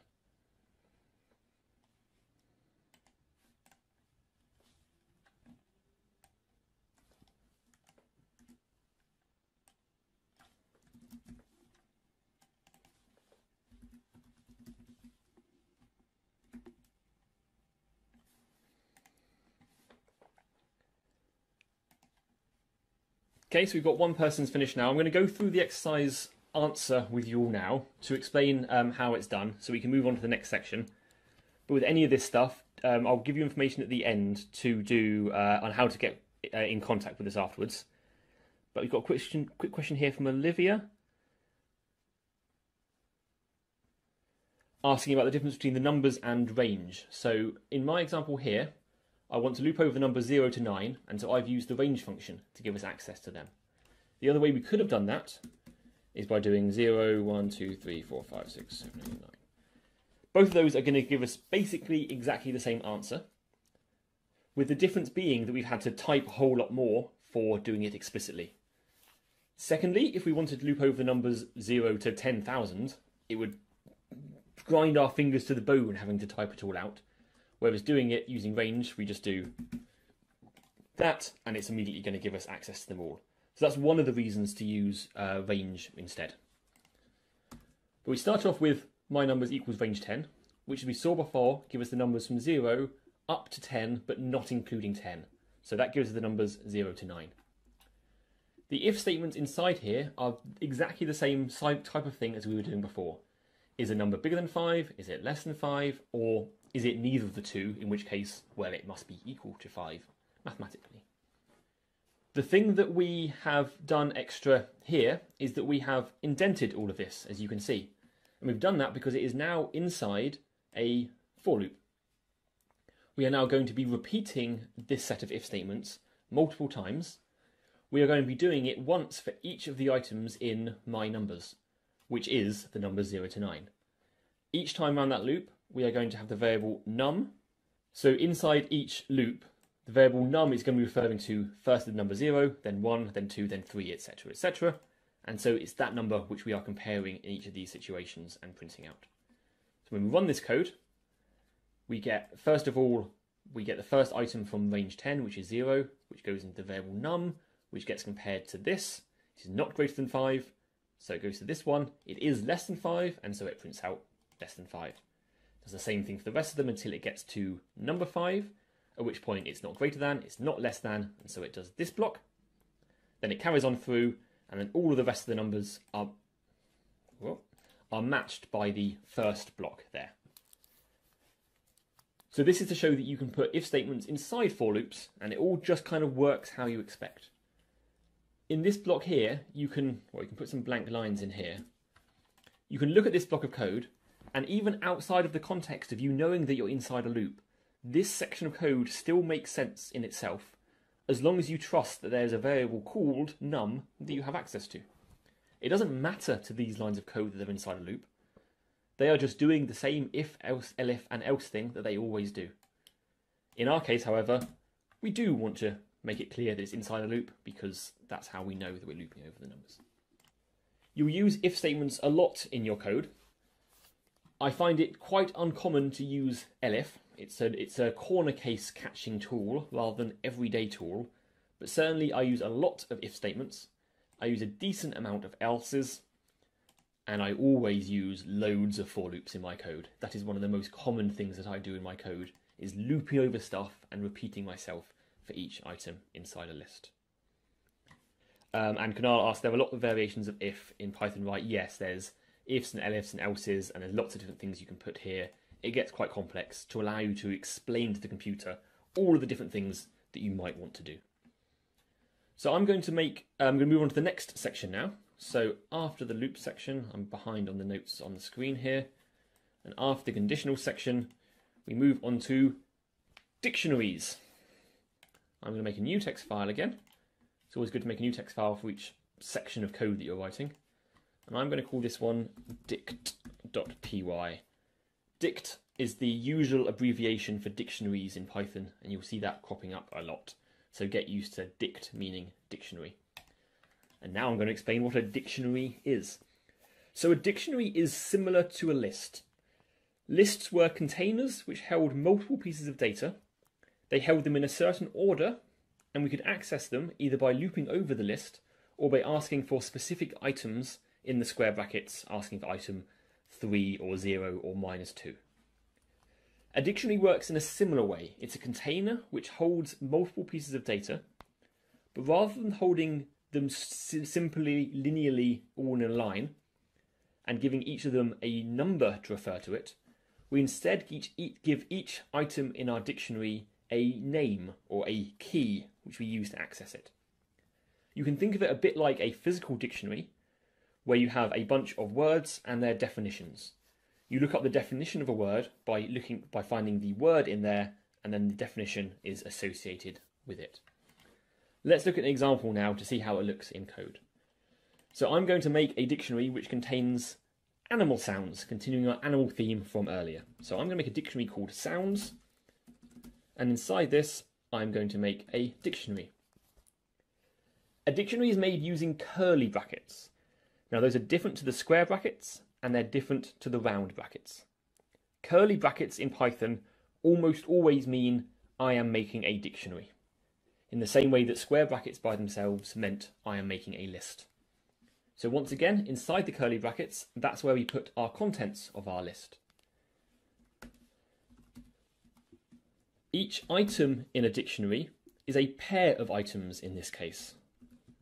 So we have here cat and meow.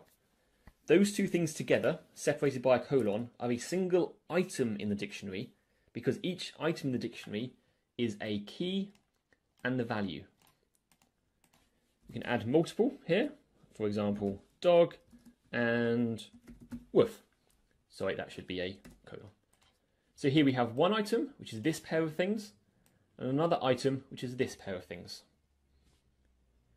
Each item in a dictionary is made up of two parts, the key, which goes before the colon, and the value, which goes after it. I tend to, when I write dictionaries out, spread them over multiple lines because I find it a little bit easier to read. When you've got this many symbols hanging around, it can get a bit messy to the eye. So one thing you can do with dictionaries, and in fact with many things in Python, is spread them over multiple lines. So I'm going to put a new line in there, a new line after that comma, and a new line before that closing bracket. So this is exactly the same thing, it works in the same way, but it makes the fact that this item and this item are separate a bit clearer. Oh, sorry. So I'm going to ask in the chat, I need more than two items for my list because two is a bit boring. What other animals and sounds shall I put in here? We had penguin earlier on. What sound does a penguin make? Because I don't know. Gareth? Apparently they go meep. And we also had uh, fox. There we go. Thanks, Maddie. Now, what what does the fox say?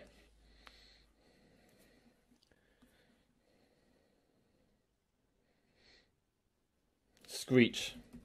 That sounds about right. I had one in the garden the other day, and it made a very horrible noise. And we've got a, a duck. Duck. Going honk. And we have a sheep. And what noise does sheep make? Bah. Lots of A's. There we go.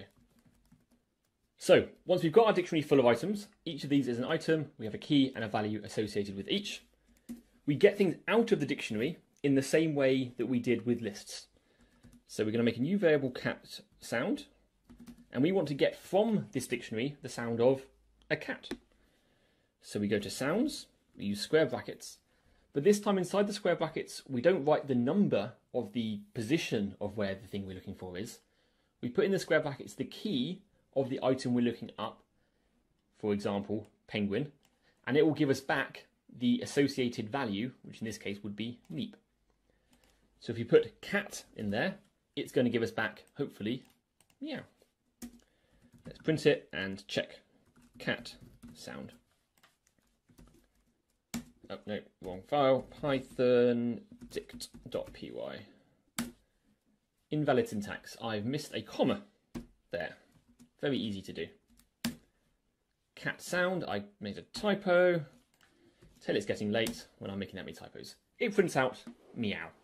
It's looked up the key we put in, it looks up in here, it's given us meow. If we change this to be just sound, because we're going to be tweaking what animal this is, change it to fox and print that, it makes a screech noise. So have a go at that yourself. Um, copy in that dictionary, try, try grabbing items out of it, and also see what happens if you ask for an item from a dictionary that isn't in there. For example, if you make a typo here, or you ask for an animal which isn't in there at all. Olivia asks, do you have to have a comma after the last key in the dictionary? No, you don't. That works just as well. The reason I tend to put a comma after the last item when it's on when each is on its own line is because when I add a new item, I only have to worry about this line here. I don't have to remember add a new item like fish bubble and then oh I missed the comma there which is exactly what I did wrong earlier so I tend to always put a comma at the end of the line to avoid me making that mistake. Also, when you come to use version control like Git later on, it makes your uh, differences between files a little bit neater to read if you have a comma at the end of each line. But largely, it's a matter of style. I will sometimes use one or the other. Gary is asking, why does the dictionary use square brackets to search the items, not curly brackets? So this is where it gets a bit confusing with Python and the different kinds of brackets. Or at least it, it, it does seem confusing at first, but I'll try and explain um, the logic behind it. So the reason that we use different types of brackets for creating the different types of objects is to make it unambiguous when Python is reading the file what kind of object we're trying to create. And that is why right from the start you have to choose when creating something whether it's going to be square brackets to be a list, curly brackets to be a dictionary, or there are other types of brackets which get used as well. As for accessing stuff from lists, it's not ambiguous what we're asking for with the square brackets here because each type of object can only be searched in one way. So a if this were a list, then Python knows that square brackets is asking for it by number. This is a dictionary here, so it, Python knows that square brackets is asking for an item from it by its key. That allows Python to always use square brackets to mean give me something out of this list. And the syntax would always look the same. So you can look at the line like this, and you don't really care whether sounds is a list or a dictionary or some other exotic type, type of data. All you care about the reader of the code is that we know this is something which must contain stuff because we're asking for something from inside it, and we trust that the thing, in this case sounds, knows how to interpret it.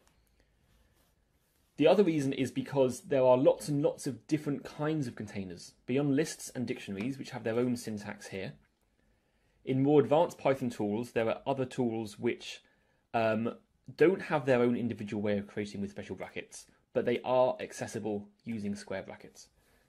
And so by allowing square brackets to be the generic syntax for give me something from inside this thing, it makes the language nice and extensible.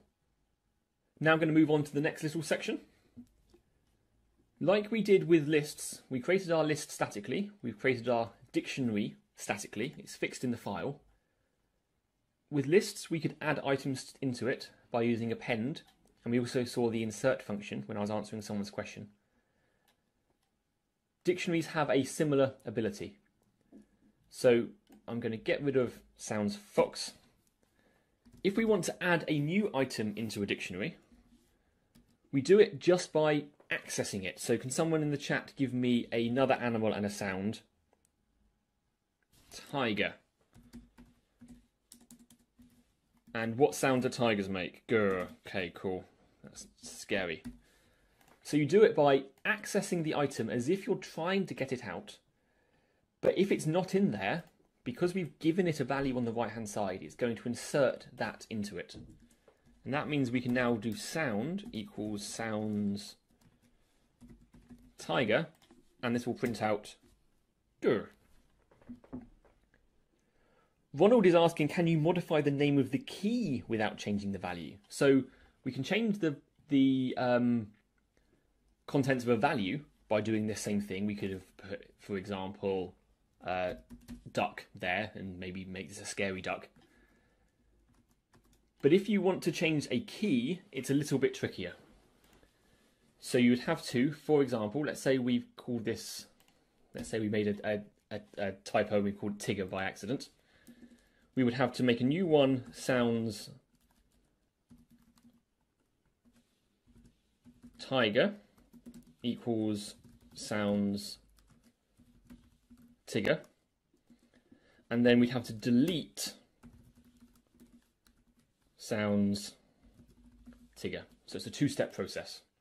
So we put in a, an incorrect name there. We've then renamed it and we can access it by the correct name and that should work.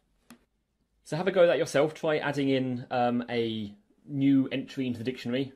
Make sure it makes sense when you're doing it. Try overwriting existing variables and I'll come back in a minute or so to move on to the next section. I'm going to cover the last section on dictionaries here before we move on to the last chapter in the course today. We're doing well for time, I think. And it's following the same kind of pattern to what we did with lists. With lists, we looked at making them statically, getting items out of them, changing items inside them, and then we moved on to looping over them. And when we loop over a list, we repeat each line inside the loop body once for each item in the list, and it works in a very similar way with dictionaries. So let's put tiger inside here because don't want to leave any animals behind.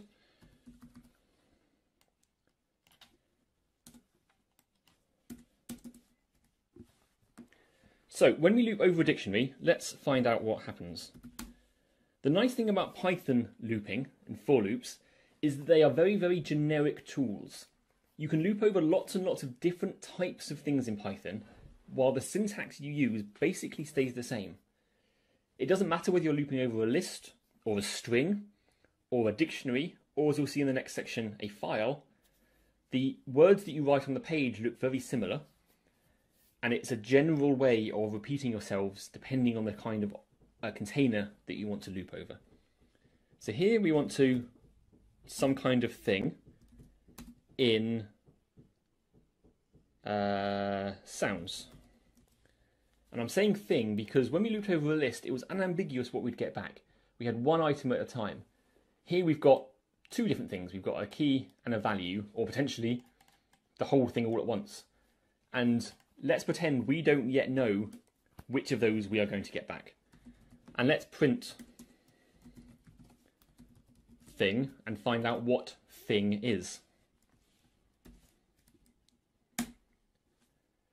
So when we've looped over this dictionary, we've said we want to have whatever it is that looping over it gives us, and Python has decided that for us.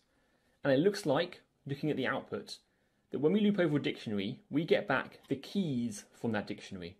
Cat, dog, penguin, fox, duck, sheep, fish, tiger. Those are the keys in our dictionary. It hasn't given us access to the values. So we now know that this isn't thing, this is a key. Again, the variable name doesn't matter, but it's good to use one that's descriptive.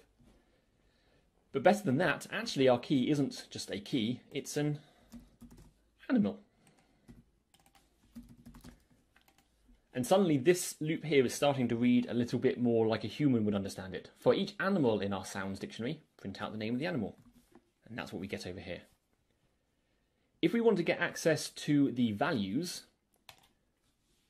there is a thing we can do where, like with the append function to a list, we do a dot values after the thing we're looping over, and that's going to give us back each of the values.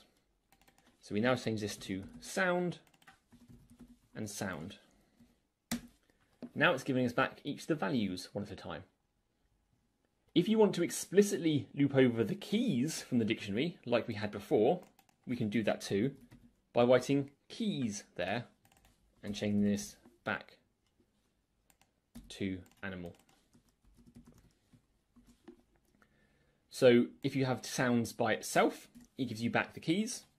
If you do keys explicitly, it gives you back exactly the same thing. Sometimes it's good to do it this way because it reminds you that it's giving you back the keys. The final thing that you sometimes want to do with dictionaries is not get back a list of just the keys or just the values.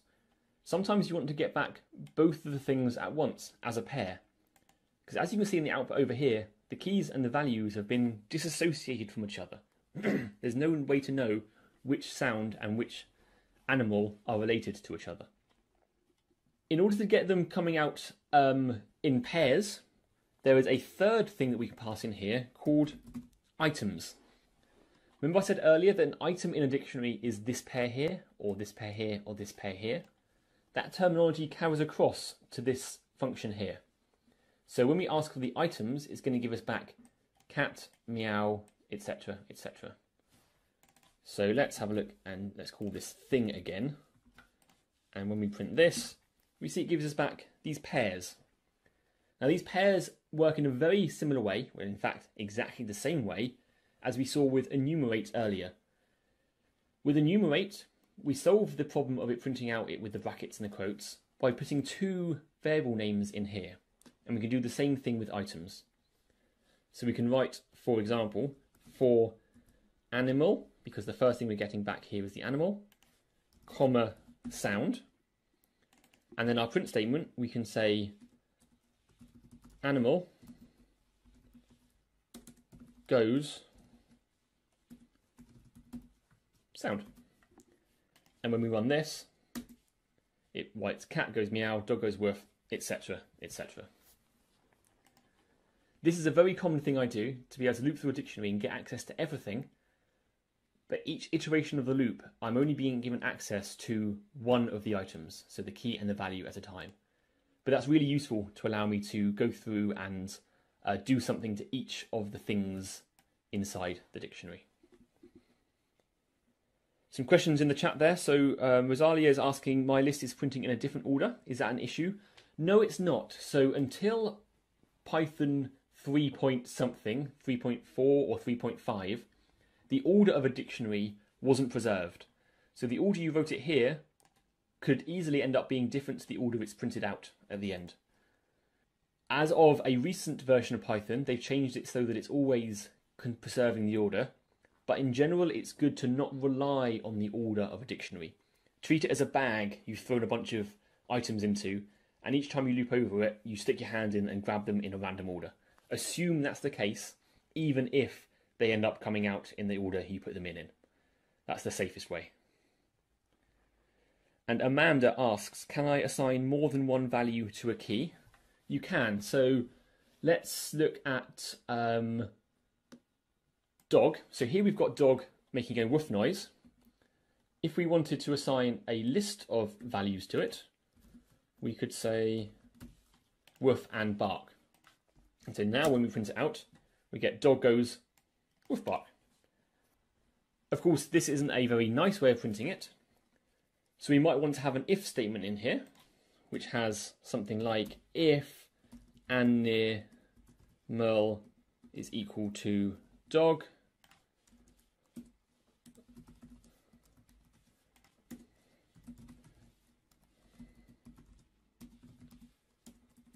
animal goes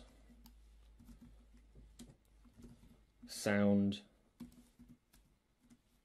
zero and sound one.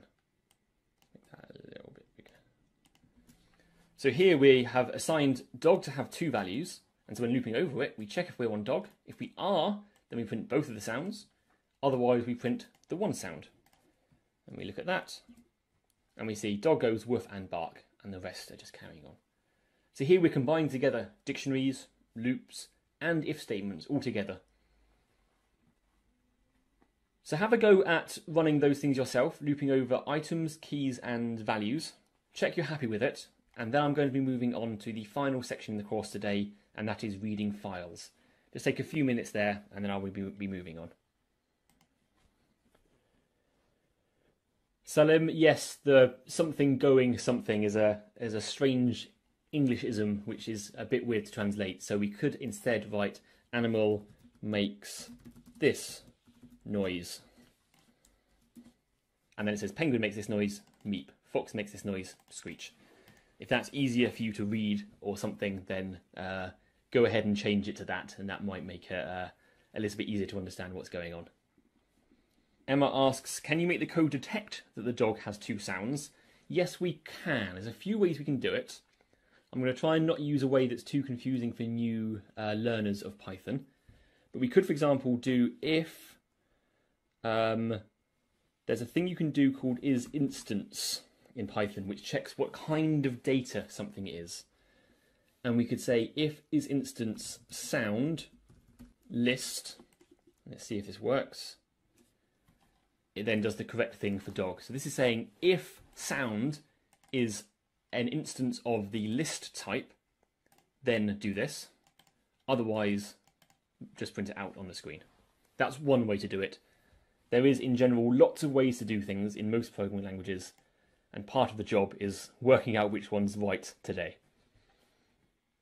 The last thing I want to cover here in the dictionary section is right at the bottom of the dictionaries chapter, there's a little list of things that you can loop over. And I just want to draw your attention to that because we're going to be building on this in the next section. But to reiterate, when you have a for loop, the thing that you put in this section between the in and the colon can be a list or a string or an enumerate function, or we saw range earlier, which isn't listed here, or dictionaries, or the keys of dictionaries, or the values of dictionaries, or the items in dictionaries. All of those things are possible, all with exactly the same syntax on this line here. The only thing you change is what you're looping over. Python has a very extensible and generic way of looping over things. So much so that we can loop over objects that aren't even part of the language itself.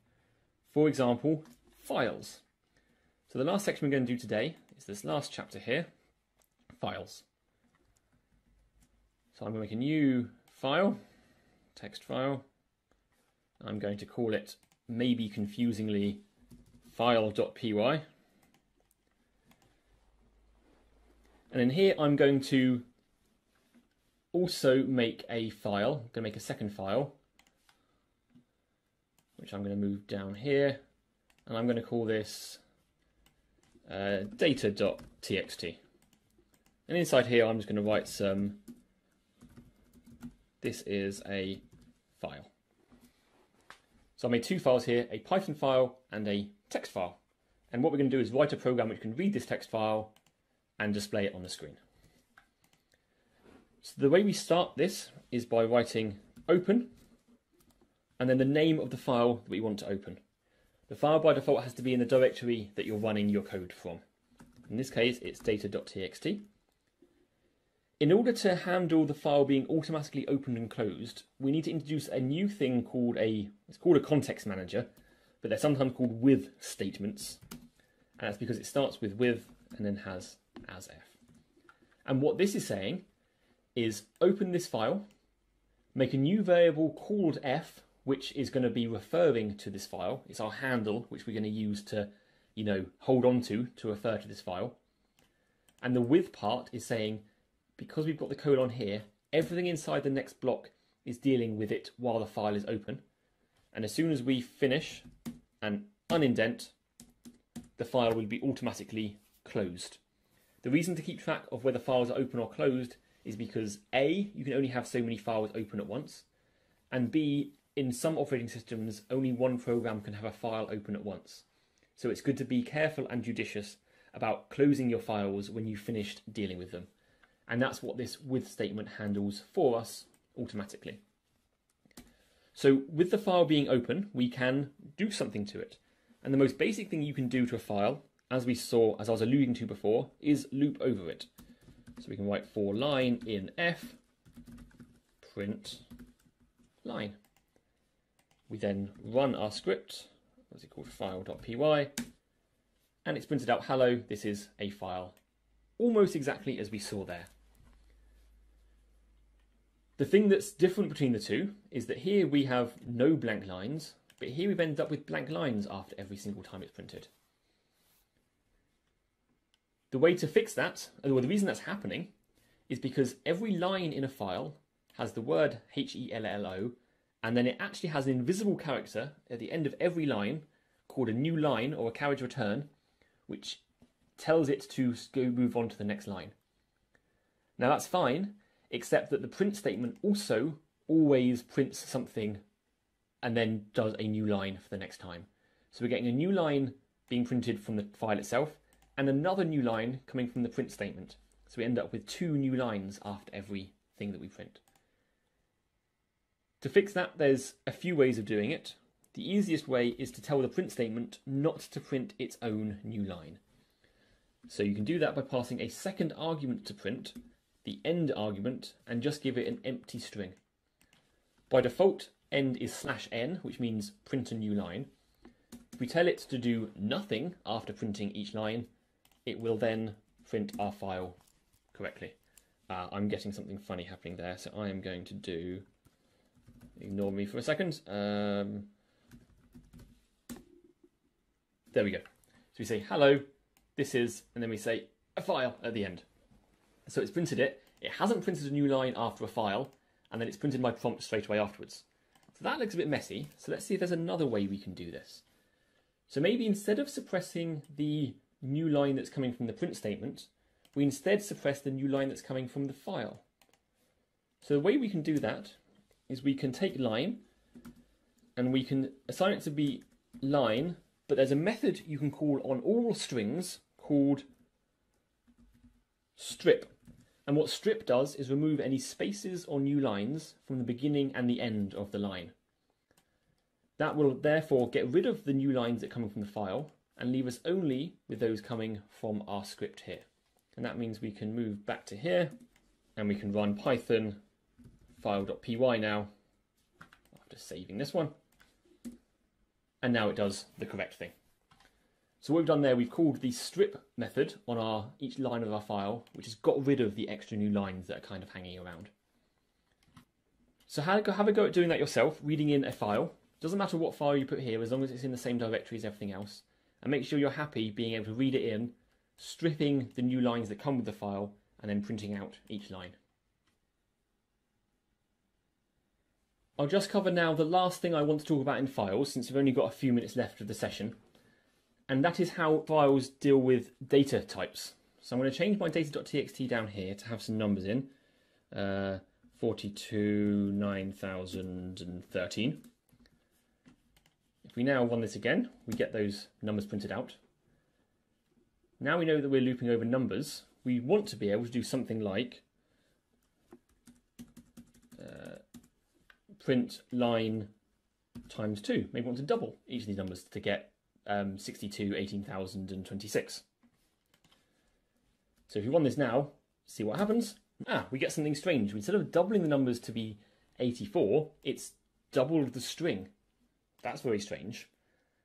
The reason it's doing that is because it's reading everything from this data file as if it is text, even if it is a number. If we know that everything in here is a number, then what we need to do is, once we've stripped it, to also convert it to a number by using, for example, the integer function. This is going to take what was line with new lines, strip off the new lines so it's just the digits, then convert it to be an actual integer, so that then we can do mathematical operations on it. This is like the difference between 2 in quotes and 2 by itself. So now when we run this, it does the correct thing. So question there from Salim about uh, art of knowing all the things that you need to do. As Gareth says, it just comes with practice. The more you do it, the more you learn stuff. I've been doing Python for 10 years or something now, so this stuff just becomes second nature the more you do the stuff. You shouldn't expect to be an expert at Python after a three hour session one afternoon. It takes time. But there's lots of people learning with you, and there's lots of people who can help. So that was the last thing in the, the file section. The very last summary section here has on it a big difficult exercise, which I'm leaving as a homework exercise for you if you'd like to carry on with this after the session. With that, I'm pretty much going to wrap up. Thank you very much for attending, and I'll hopefully see you all soon.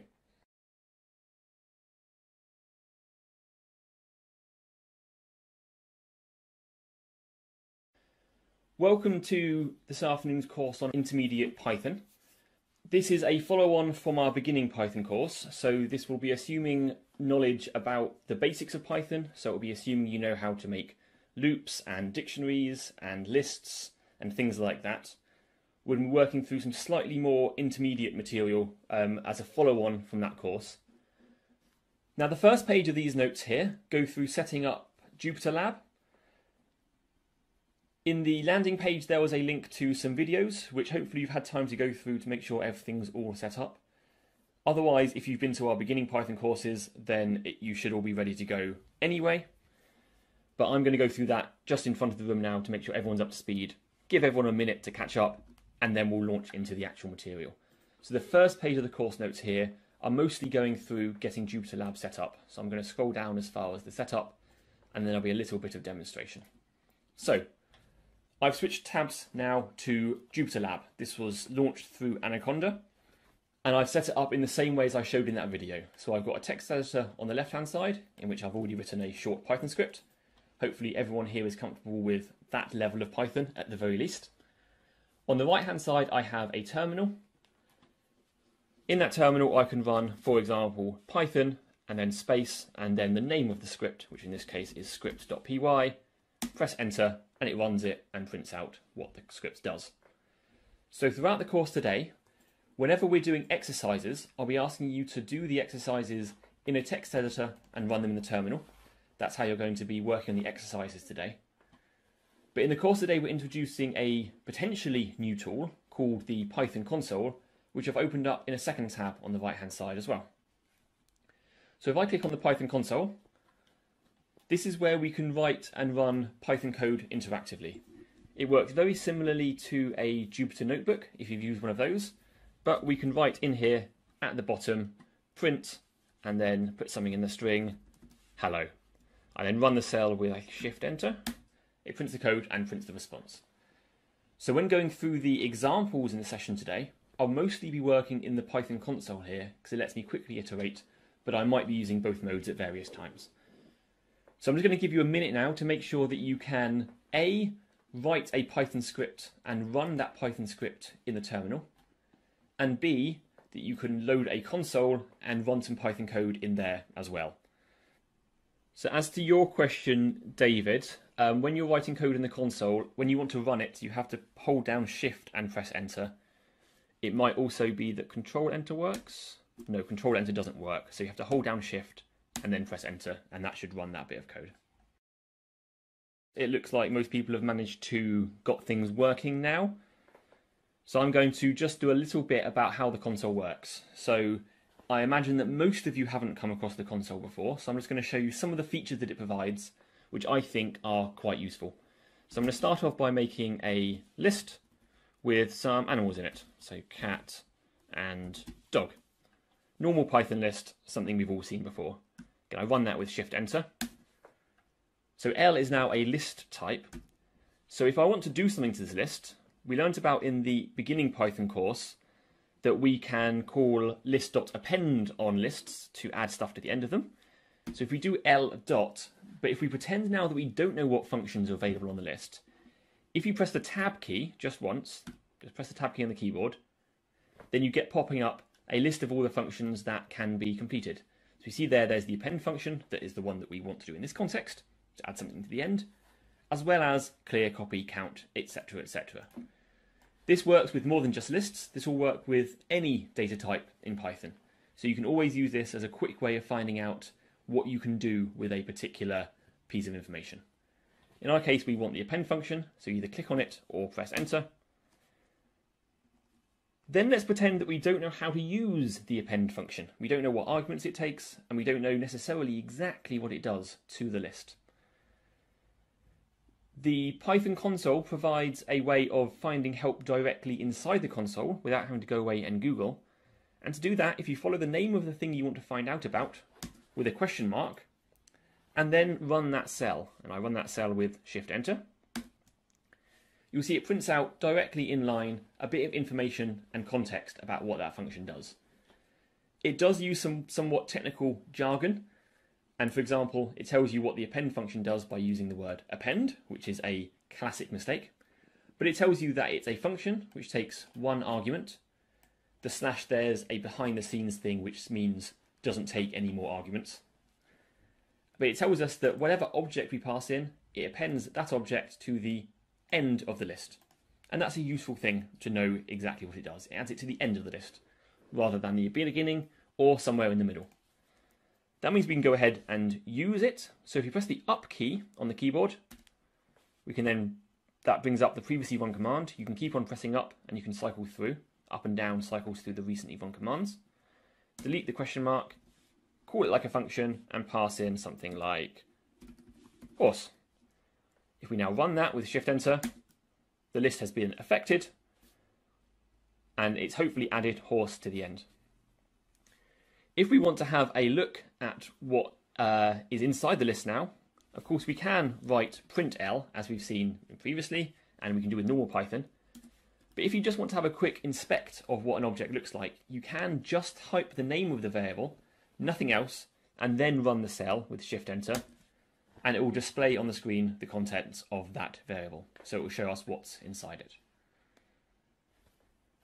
So if you have a little go at that yourself now, using the question mark, making sure you can uh, display variable names just by writing the name of the variable directly, and see if you can get tab completion working.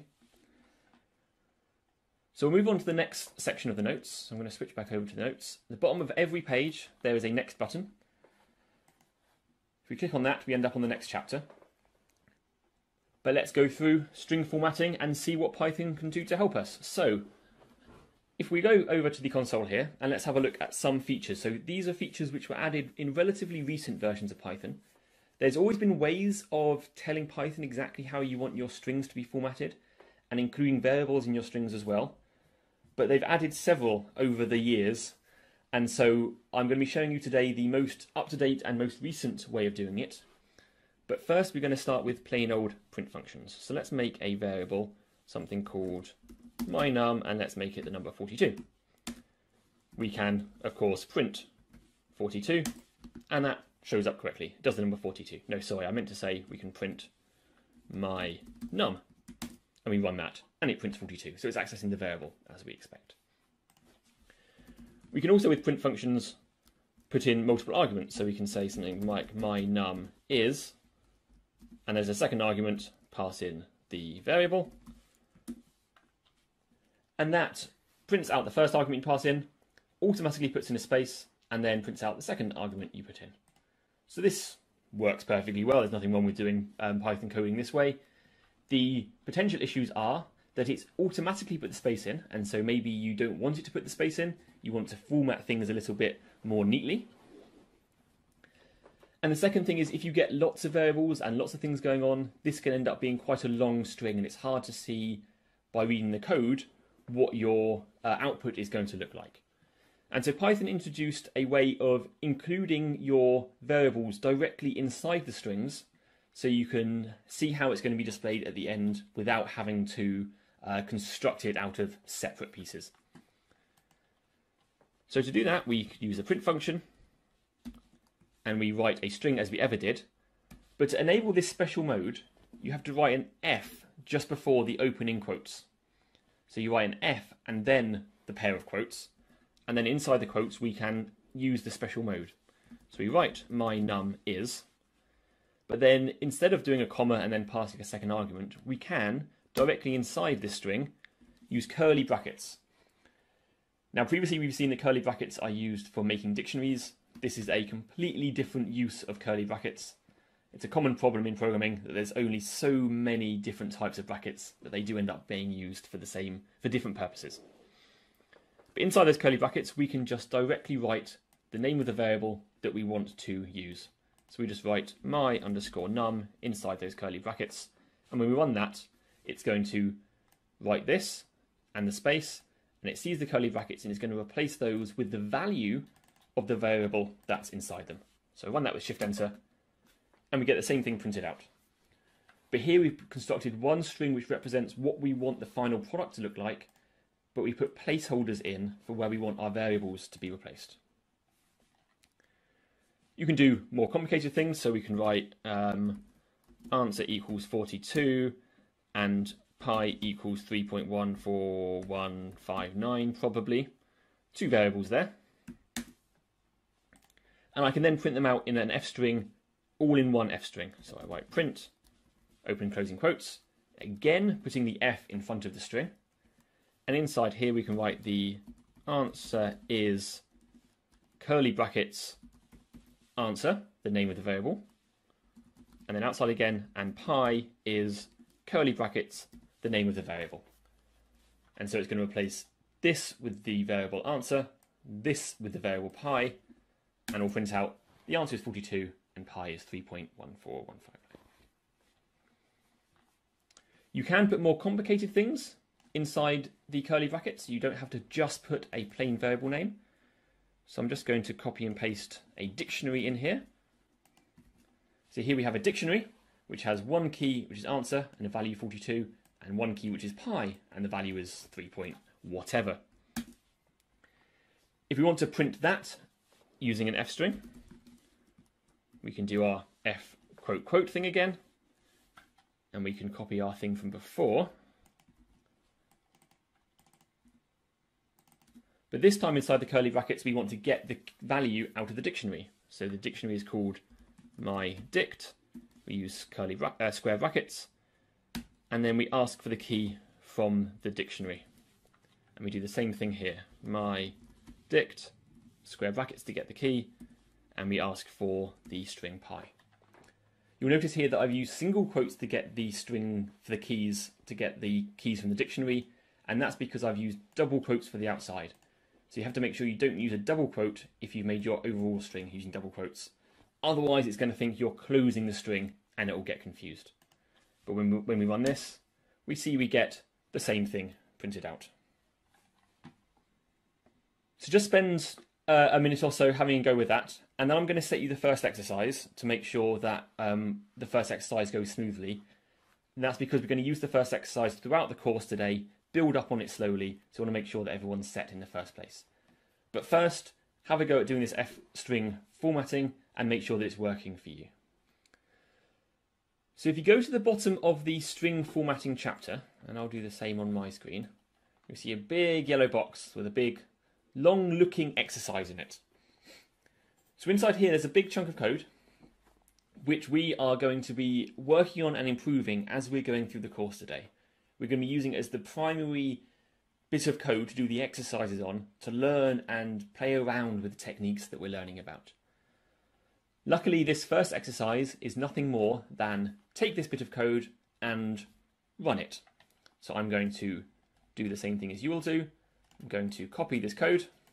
I'm going to move over my text editor. I'm going to make a new file, a new text file, put it over here, and I can close scripts.py. I'm going to paste all that code into that text file. I'm then going to rename it to encode.py because what this is doing, it is going to take a string and it's going to encode it into Morse code. Now the layout on the screen looks a little bit funky because of the line wrapping, but this up here is a dictionary which tells us for each English letter how to convert it to Morse code. So the first exercise is to take this code, paste it into a file, call it encode.py, and to then, in the terminal, not in the console, but in the terminal, to run it using Python, or if you've been told to, Python 3, encode.py. And you should get printed out incoming message, SOS, etc., and then Morse encoded dots and dashes. So take a minute now to do that same thing, copy that from the example in the notes, paste it into a file called encode.py, and make sure you can run it in the terminal. Once that's all there, then we can move on and start learning about the first of our new techniques for this course. I'm seeing a few questions in chat. So the first one from Bryony, your syntax error.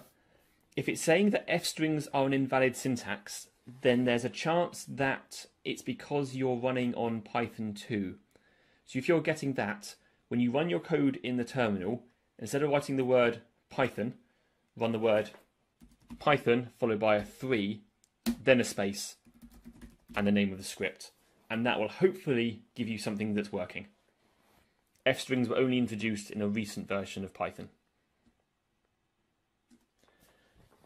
So functions are the first in the journey that we're going to be taking today. The general theme of the workshop today is learning about how you can take your scripts that you've been writing so far and package them up, make them reusable, make it so you can share them, and make it so that it's harder to make mistakes when writing code and when people are using your code as well.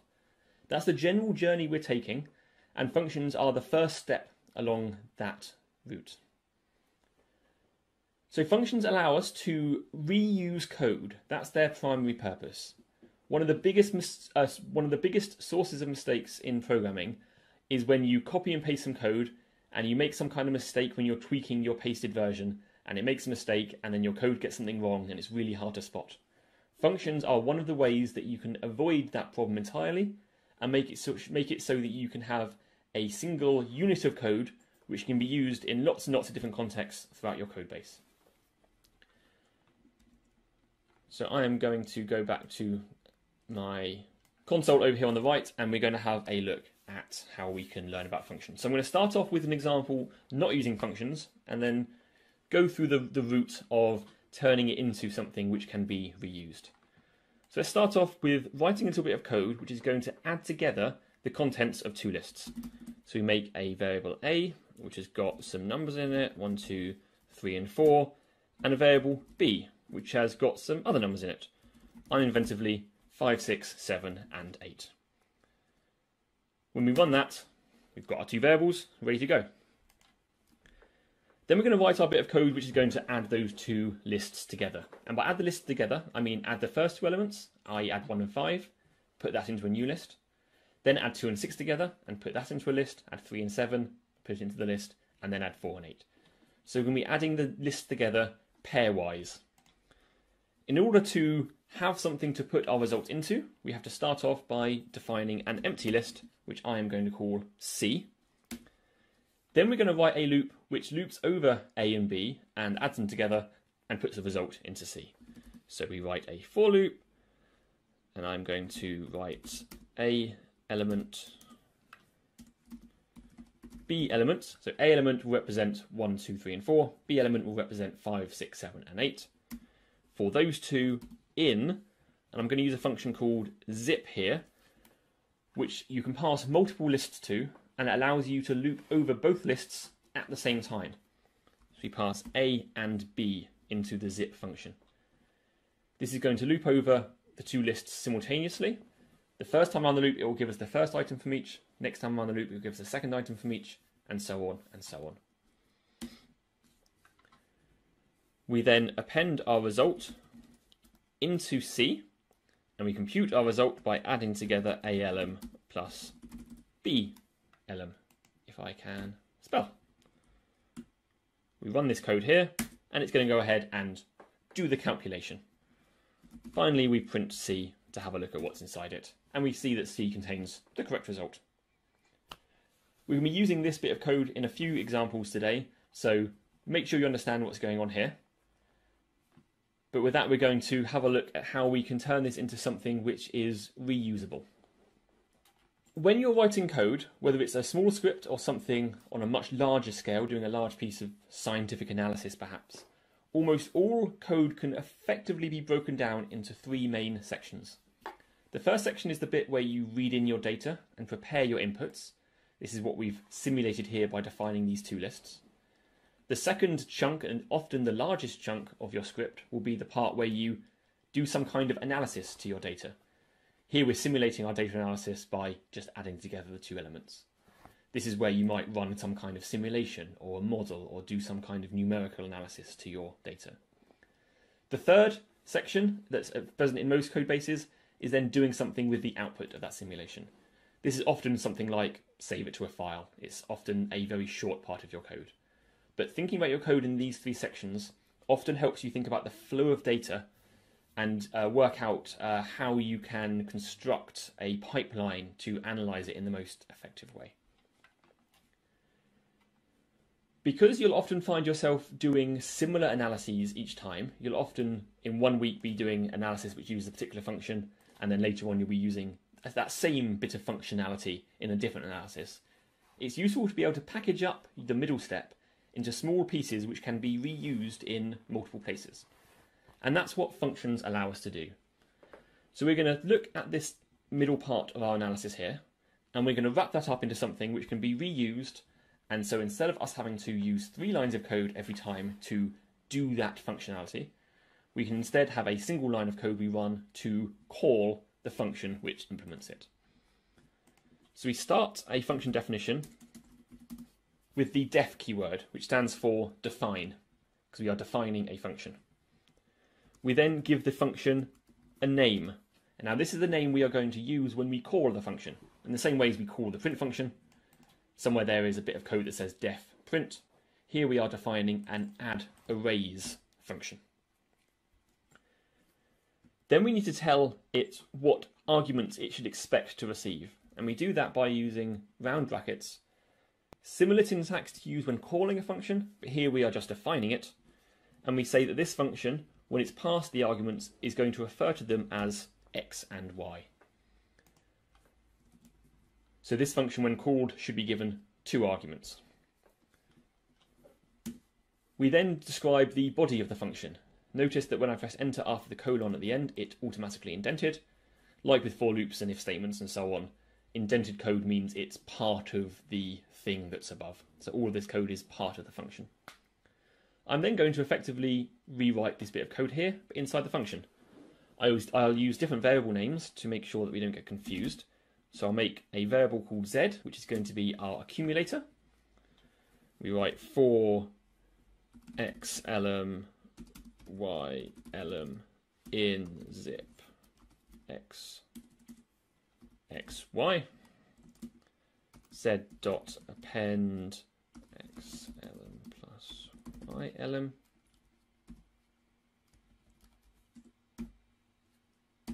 okay and I made a typo there append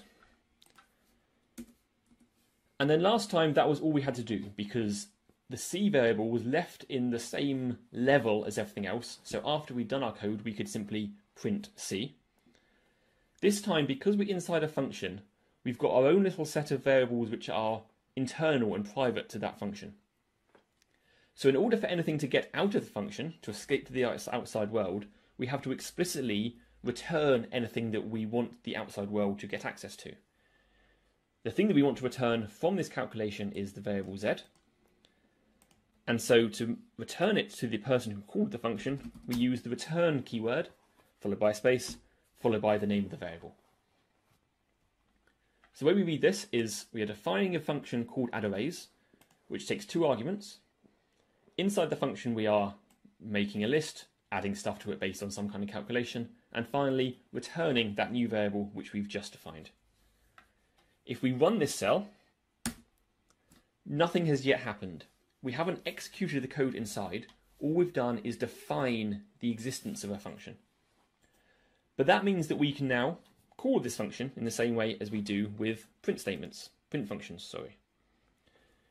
We call it by using the name of the function that we just gave it, add arrays, and we pass it two arguments because that's what we defined it to want it expects lists, and so we're going to give it the name of two lists, A and B. Notice that the lists in this top scope are called A and B, but inside the function they're called X and Y. That's perfectly fine. They don't have to have the same name at all, and in fact it's often better if they don't have the same name to avoid confusion. In the outside world, we refer to them as A and B. The function knows them as X and Y. They're the same data, but they have different names in the different contexts. If we run this function, call it passing in A and B, and run that cell, I made a mistake. That should be append those added together, not add them as two arguments. Now, if we run this function, we get printed out the correctly added data. So we've got our 6, 8, 10, and 12, which is the correctly added together A and B lists. So Amy's asking, with zip, can you multiply, divide, etc. A and B? Absolutely. So if we look at our code here where we're doing our zip function, all that zip is doing is providing us with the elements from those two lists. So the elements of x and the elements of y are going into these two variables.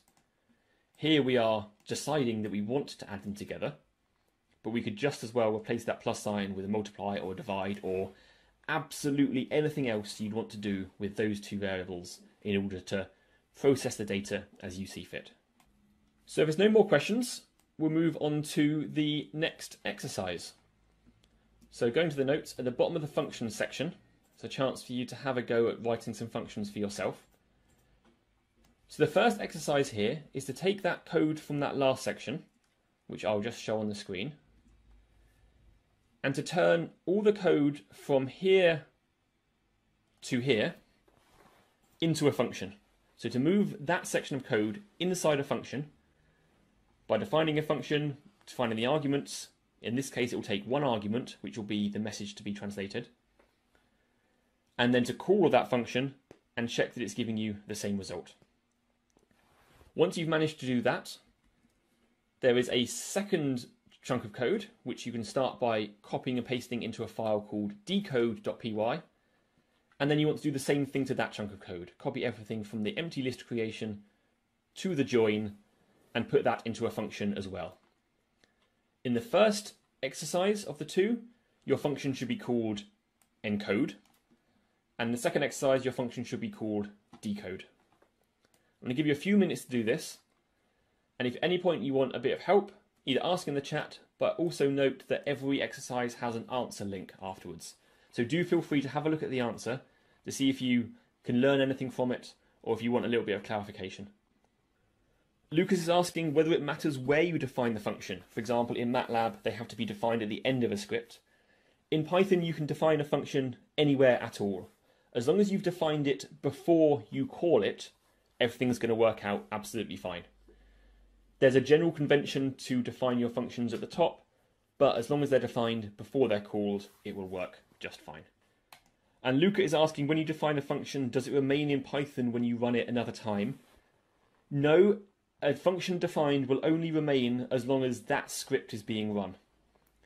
We'll see in the next section how you can write functions and have them used in multiple scripts. So you uh, you're probably predicting the future a little bit there, but on the whole, you define a function, it exists in that script, and you can use it for the rest of that one script. I'm going to go through turning encode.py into a function on the screen now in front of everyone. So whether you finish this section or whether you're still working on it, if you want to watch along to see how I'm doing it, feel free. Otherwise, if you're still working on the exercises and you just want to concentrate on that, feel free to carry on for a little bit doing that. So if we look at encode.py, the bits of code that we want to turn into something reproducible are the bits that actually do the conversion. These lines at the top of the file are, are our data reading in. They're setting the initial inputs to the whole thing. Both some data that's used for the conversion, as well as the message that we want to convert. These lines of code here are the bit that's actually doing the conversion. They start by making a list that we're accumulating into. They loop over the message and convert each letter in turn into the Morse code equivalent. And finally, once all of those converted letters have been put into the Morse list, we join together all of those Morse letters using spaces and put it into this variable Morse underscore message. So this is the section of code that we want to turn into something reproducible. This is the thing that we might want to call in different contexts. We don't always want to only call it on this particular message. We might want to call it on other messages. So we want to turn it into something reusable. We start off by defining a function. Define encode. Choosing a name for a function can be a little bit tricky sometimes. The main bit of advice I would give you is keep it short and use something which is generally an action or a verb. When you call a function, you want it to perform some kind of action, and so you should name your function in a verb sense. So this function is going to encode something. It's going to take an argument. The argument is going to be called message, and we end it with a colon. All of the code inside we then want to indent because that is all now part of that function. At the end, what we need to do is return Morse message. So the input comes in here, gets looped over, and then the output is put into Morse. We convert Morse into Morse message using the join, and then we return our final output. Now that we have our function, we still need to call the function. If I ran this code now, we would get an error saying, I don't know what Morse message is. So we need to make sure we call the function. I'm going to scroll down a little bit. And we call the function by using the name of it encode, call it like a function, and passing the argument as message. The result of that function, which is what's returned here, needs to be put into a variable and so let's call that Morse message equals. We can now save that and run it, and we get exactly the same output that we got before. The one thing I'd like to point out, which I alluded to before with our A's and B's and X's and Y's, is that this variable here is called message, but we're also calling the variable inside our function message. That's just because that's how the code looked before we functionified it, but there's no reason they have to have the same name. To make that clear, I'm going to change our internal variable names inside our function into something else. So I'm going to just call that, I'm going to call this m, and I'm going to call this m, So the message that we want to convert is called m, and that's the variable name we pass to the function. Inside the function, it refers to it as message, and finally returns Morse message. Also, these two variables don't have to have the same name. So to make that clear, I'm going to call our outside of the function variable Morse underscore m and do the same thing with both of these. So outside of the function, we just have m and Morse m. Inside of the function, that's where we've got our long variable names. There's nothing implicitly wrong with using the same names outside and inside, but I wanted to show you that they don't have to be the same. And to demonstrate it, I will then run that bit of code. The process for the decode function works in exactly the same way. There's a bit of setup at the top, which is defining our variables. Then the bit that does the decode works like this. We've turned it into a function by indenting it, called it encode, finally called it, and printed it out. I imagine that some of you attending the course today might have done functions before. It's always difficult to know what the introductory level of everyone's knowledge is, but certainly by the end of the course today, we want to make sure that everyone's up to the same level with all the topics that we're covering. So I want to try and make sure we're not leaving anyone behind. So now we've got our encode and our decode files, and I'll show that Python decode.py works as well. It prints out SOS, we have hit an iceberg and need help quickly. We are ready to move on to the next section. So looking at this code so far, we've got some information that is being duplicated between these two files. So first of all, there's this letter to Morse dictionary at the top, which is in decode.py, but it's also in encode.py. So this is something which is central and core to the process that we're doing. It's some kind of static data that's being used as part of our algorithm to do the calculation that we're asking for. But there's other text or there's other code inside this file which is specific to the problem at hand. In this case, it's the message that we're translating. You can imagine this being a stand in for the data that I want to analyze today, or the database that I'm getting data from that I'm looking at today. So there's some things in this file here which are usable in all contexts, no matter what kind of message I want to convert to or from Morse code. And there's some code inside these files which is specific to the task at hand that I'm doing today. And so the first thing to think about when you're doing when you're when you've got code like this is to start thinking about which parts of your code are today's job and which part of your code are going to be useful in the future when you're working on a similar task a week, 6 months, 5 years down the line. Think about which parts of your code are generalizable and which part of your code are specific to your job today. Once you've got in your head how various parts of your code base fall into one category or another, you can start making it so those parts of your code which are generally usable can be extracted out and put into something which can be used in multiple different scripts without having to copy and paste them. And this is how we're going to carry on our journey towards making our code more reusable and harder to make mistakes with. The first step was we've got some lines of code, and so we turn it into a function so that we have a defined interface of what goes in and what comes out.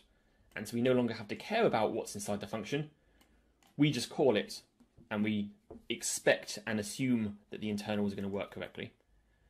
The next step along that path is to take the parts of your code which are reusable and to put them somewhere where all your scripts can find them. And that is a feature of Python called modules.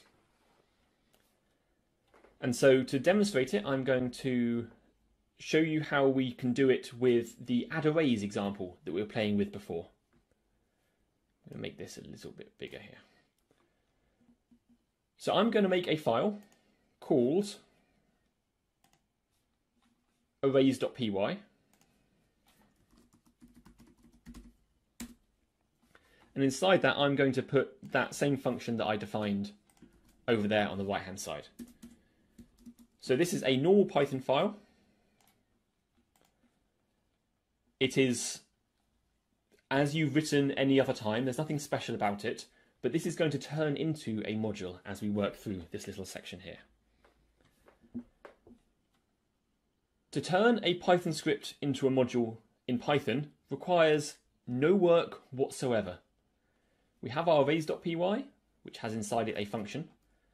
That means we can go to our console and we can write import arrays. You might have seen import used when you're working with, for example, NumPy or Pandas or other third-party modules that you might have used before in Python. But this allows you to write your own modules, which you can put in functionality which you want to use in different contexts, contexts yourself. When we write import arrays, it's going to first of all look in the current directory for a file called arrays.py.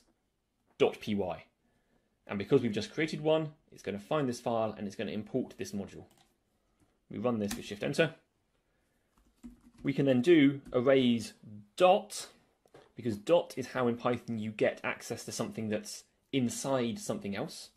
We have the arrays module, which is this whole file on the left hand side. And from that module, we want to import the add arrays function.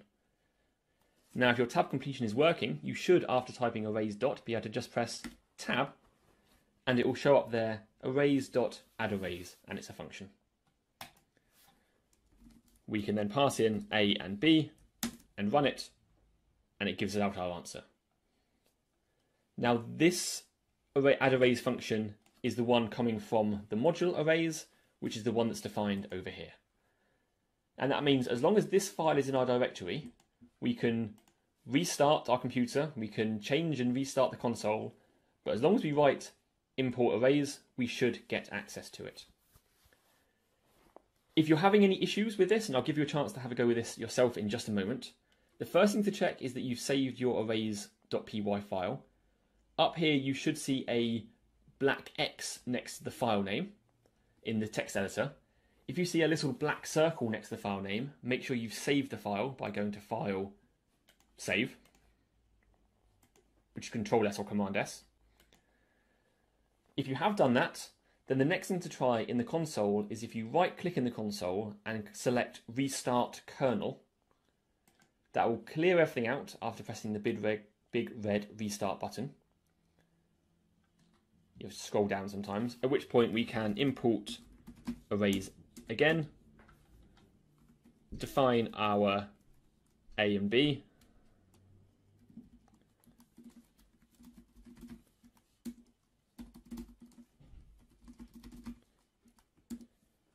and then we can call arrays dot add arrays a b. So if you're having issues, try right click, restart kernel, run those lines of code again, and see if that works. Going to give you a minute now to have a go at that yourself. Then I'll carry on uh, with the next little section. So Katie's getting an error, module not found error, as is Sophia. So the first thing to check there is that, as I said, when you do import arrays, it's going to look for a file called arrays.py in the current directory.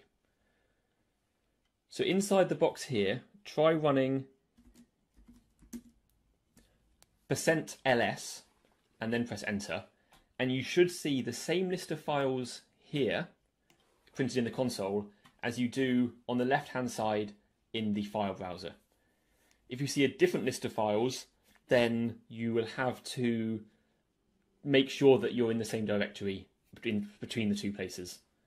So check that you're seeing the same list of files first, and if you're not, then let us know. Good, I'm glad that fixed your problem, Katie. It does get a bit confusing, and Jupyter Lab isn't always very good at keeping everything in sync. So that's always worth checking that you're in the right directory in all of the different places that need to be kept in sync. And Sophia, if you're not in the right directory, so for example, I'm going to um, put myself in the wrong directory. So on my computer, my code is sitting in home mat temp slash python. I've put myself into the wrong directory. There we go, that's working. But if you want to move, then percent %cd space the name of the directory you want to move into, which is Python. CD stands for change directory. Run that, and then percent %ls should work. Kunal points out that if you put in different length arrays, then the resultant array has the length of the shortest. That's a very good point. point, and later on in the course today, we'll be learning how we can check for errors and raise errors in those situations. But to demonstrate what you're talking about for everyone else, if I make A and B different lengths and then run the function, we see that 4 never gets added to anything. Now, there's two reasons for why that happens. Firstly, is that there's no definition of what 4 added to nothing would be, and so it makes sense that it's not able to guess it. But the real root cause for it is that the zip function only loops over the arguments that passed in as long as they all have elements left. As soon as one of the arguments past the zip runs out, the whole thing stops. That's something to be aware of when using zip. Bryony, you're seeing name error, name arrays is not defined. Make sure that you have run import arrays before you try and call the function. So you have to import arrays. You have to do that every time you restart the console, every time you do a new script, in order to make sure that arrays has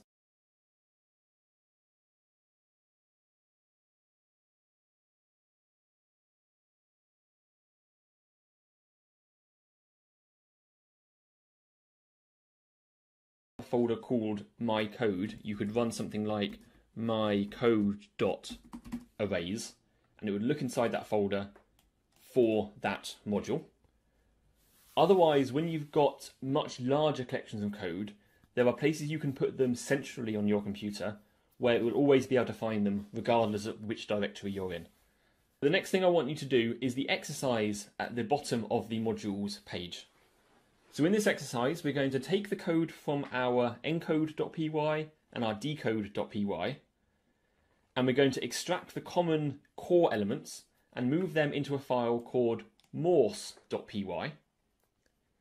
Then we're going to edit our encode and decode to import Morse and call the functions that are defined inside the Morse module. You can test it in the Python console if you want to, but if you do, you will have to do the right click restart kernel trick. Otherwise, it's not going to import any changes that you make to your modules. But spend some time on that. Make sure you're able to convert your Morse code stuff into one module called Morse and then import it in the other two files.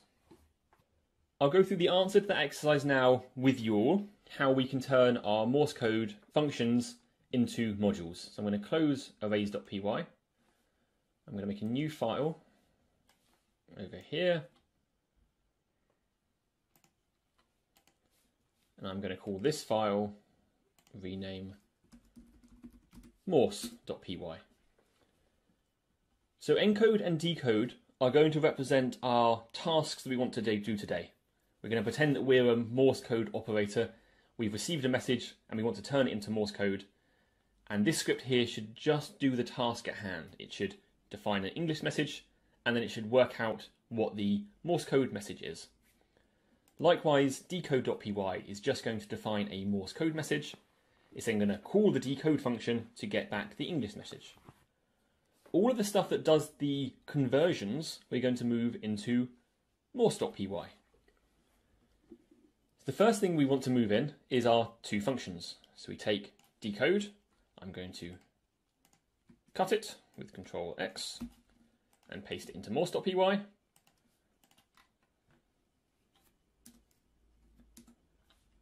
And I'm going to do the same thing with encode. And paste it into more morse.py. So you've got our two functions in here. But if you look at the encode function, for example, it's taking in one argument, which this function is going to refer to as message.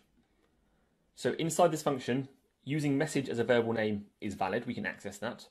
We define the Morse variable, we loop through message to make a new variable letter. This is all fine, this is all consistent.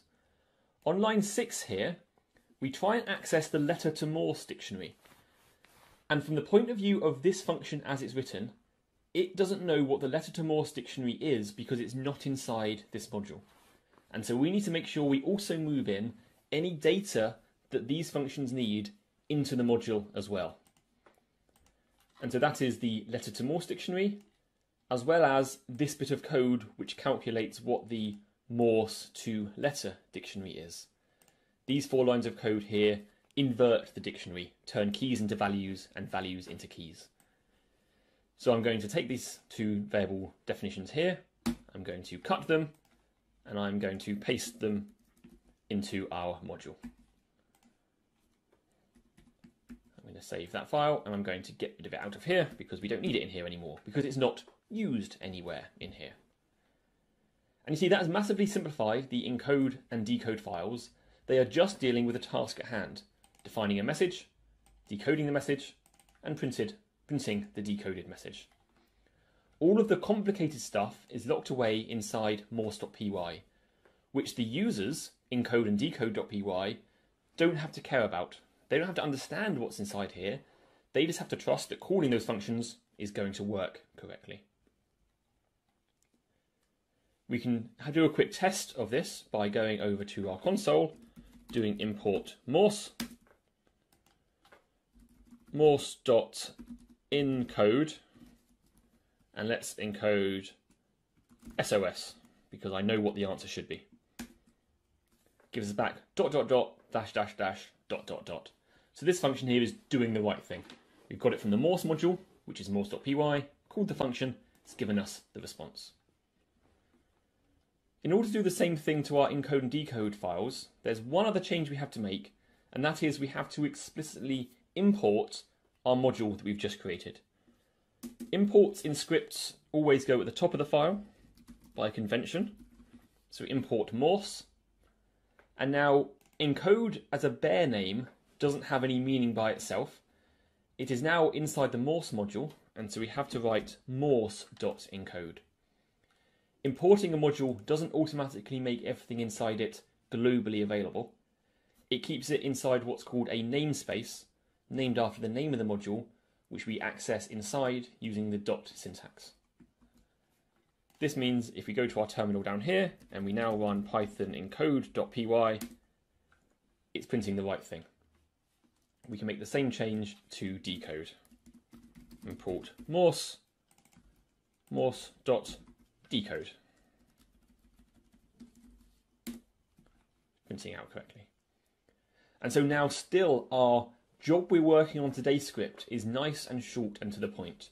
We define our data, we process our data, and we print the result. Likewise with encode.py, define our data, do something with our data, and then print the result. The complicated stuff's locked away in the module, morse.py, and once we've written it and it works, we don't have to worry about it again. We can just import it and use it.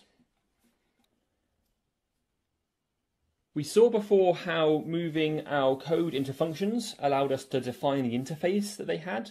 We would say this function should have these inputs and it should have these outputs.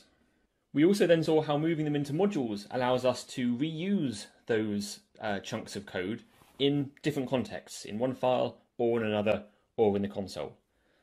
The last thing I wanted to show about what modules and functions provide for us is the ease with which we can test that our code is working how we expect.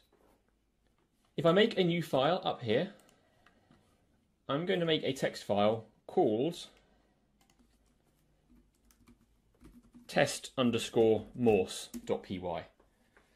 I've got a module called morse.py, and alongside that, I'm going to make a second file called test underscore morse.py. So it's the same name, just with test in front. This is a convention I like using for every module that I write to write a file alongside it with the same name but with test underscore at the beginning, in which I put a little bit of code which I can run to check that the module is doing what I expect. So in order for that to work, we have to start by importing Morse. And because our code that we've written is an encoder and decoder, that allows us to test what's called a round trip. We encode a string, decode it again, and check that we get back what we started with. So let's make a message. Hello everyone. We then make a new variable code, which is created by doing morse dot encode message. I then take the result of that and pass it to morse.decode straight away without doing anything to it, and assign that to decoded. The last thing I do is then print out, checking that message is the same thing as decoded. If message, which is our starting thing, once it's been encoded and decoded, is the same as the result, then we know everything's working well.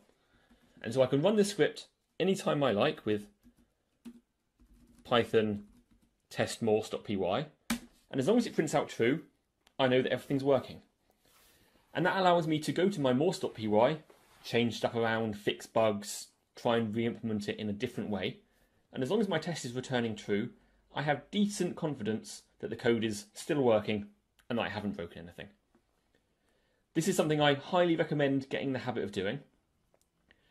This is the first step towards testing your code, but there are much more flexible, powerful, and uh, useful techniques that you can use, and we cover those in our other course, Best Practices in Software Engineering. So do check out that course if you're interested in seeing how you can do more with testing. But for now, in this course today, this gets us most of the way there towards checking that our code is working how we expect. We're now going to move on to the largest chunk of the course today, if I go to the notes, and that is classes and objects. Now, classes and objects are something that a lot of people struggle with when they first start learning Python. It does take a bit of a conceptual shift as you're going through, but I'm hoping that I can take you on the journey today to show you how they can be useful and how you can use them in your own code. They fit in the same kind of story that we've been telling so far. We started with functions, which allow us to package up chunks of functionality and give that a name and make it so we can reuse it in different places. We then packaged up those functions and put them into modules, which allowed us to use that function in different scripts or in the console, however we saw fit. The next step along that journey is to learn how we can package up not just bits of functionality, but combine together data and functionality all into one blob, which we can reuse in whatever context we see fit. And the way that Python and most programming languages provide that is using a technique or a feature called classes. Through the example here, we're going to be writing some code which represents a dog. And so I'm going to go ahead and start writing some code. I'm going to do it in the console because we're going to be interacting with it. I'm going to restart the kernel just to clear everything out. And I'm going to clear the console cells just so that it's a nice clean slate. So let's make a variable called our dog. Now, the dogs that we're representing inside this code here are going to have a couple of attributes to them.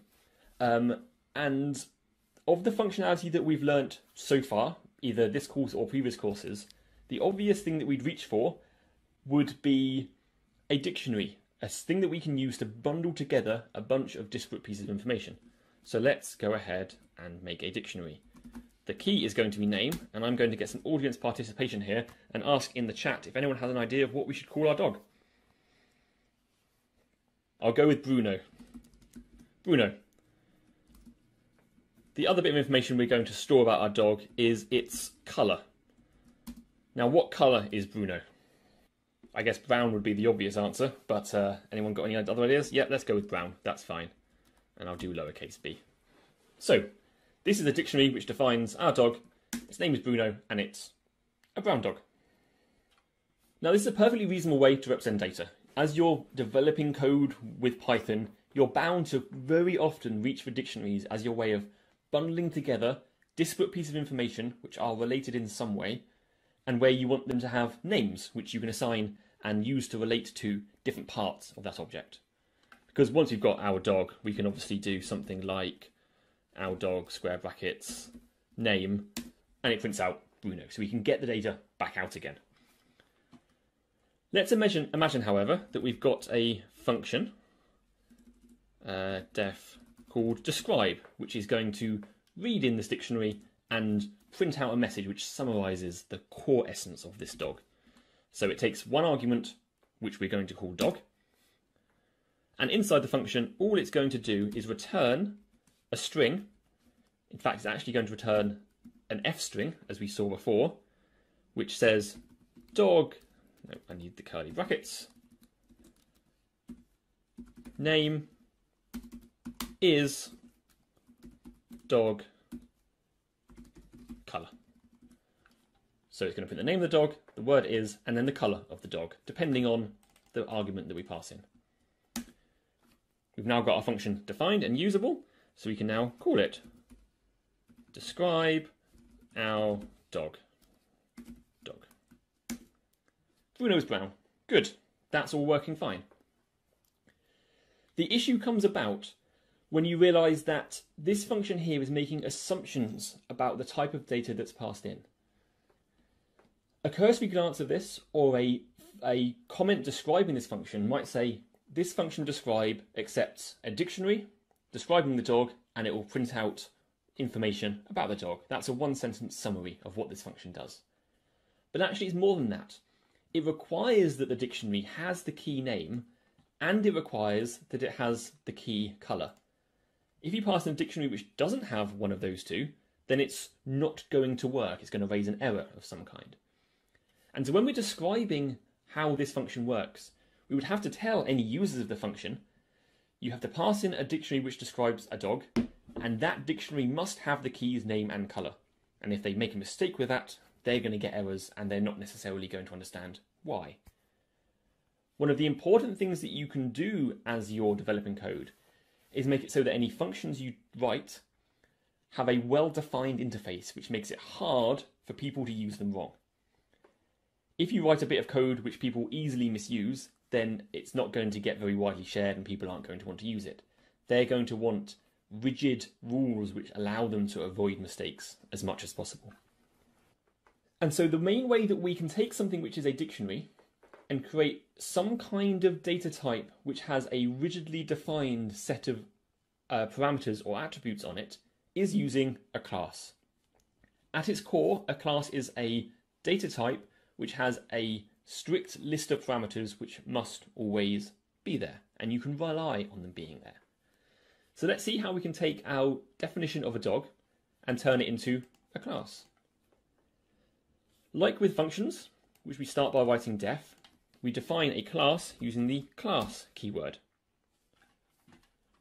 We then give the class a name. The convention in Python with classes is that you give the name of the class a capital letter at the beginning as opposed to variable names, which use lowercase and underscores. This helps someone reading your code to easily see what are classes and what are variable names. We then follow that with a colon, and then we are writing the code inside the class in much the same way as we do with functions or if statements or for loops or anything else. The main things that sit inside classes are functions. And so we're going to define a function now which is going to describe what a dog looks like. So we do that with def. Now the special function that we have to create to define what a class looks like is called underscore underscore init. There are two underscores before and two underscores afterwards. This is a special function which is called in order to initialize the class. It's going to set it all up so that we know it has the parameters and the attributes that we expect. It takes arguments because it's a function. All class functions always have to take an argument called self at the beginning of their list, followed by any arguments that we want it to accept, which in our case are going to be name and color. And it's a function, so we end it with a colon. I'll come back to explain how init and self relate to each other in a little while, but for now we're going to make this dog class, use it, and see how it works. Inside this function, we are going to set some variables. And we are going to set those variables, we're not going to return them at the end, but we are instead going to attach them to this variable self. This variable self is representing the dog in question at the moment, the dog that we care about, the dog that we are currently initializing. And so if you do self dot name, we are talking about the variable name that's attached to the object self we assign that the argument that was passed in name. We do the same thing with color, self dot color equals color. At this point, we have finished defining and describing our class. That's all you need for a class that has two attributes on it. So we run that cell with Shift Enter, and it gives us back no error. So it's worked. That class now exists. In order to make an instance of that class, we call it like it's a function. We name the name of the class followed by brackets. The arguments that we put inside the brackets are the arguments that are going to be passed into the initialize function, not including self because self gets handled automatically. It's the other arguments that get passed in. So we can pass in Bruno and Brown.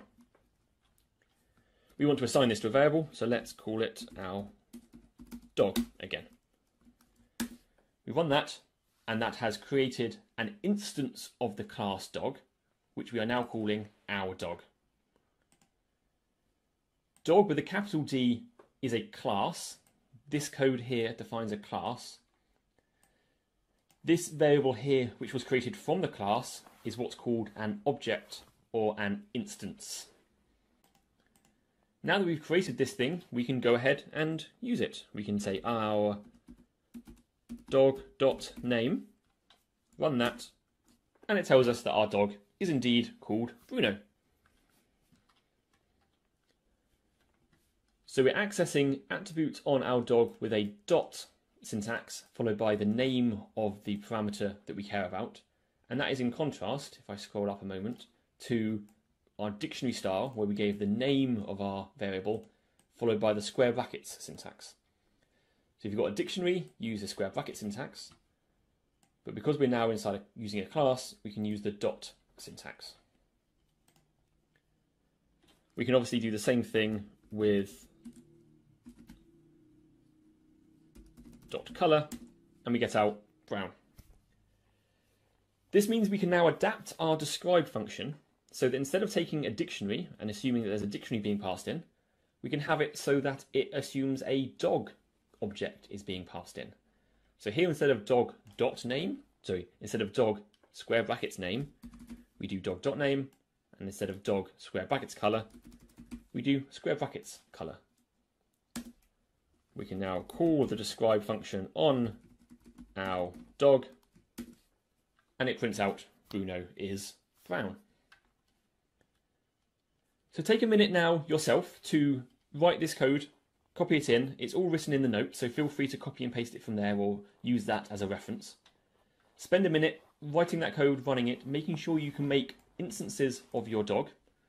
You can get the attributes out again and adapt the describe function so that you can pass in a dog object using the dot syntax, get the attributes out, and describe the dog, have it all work correctly.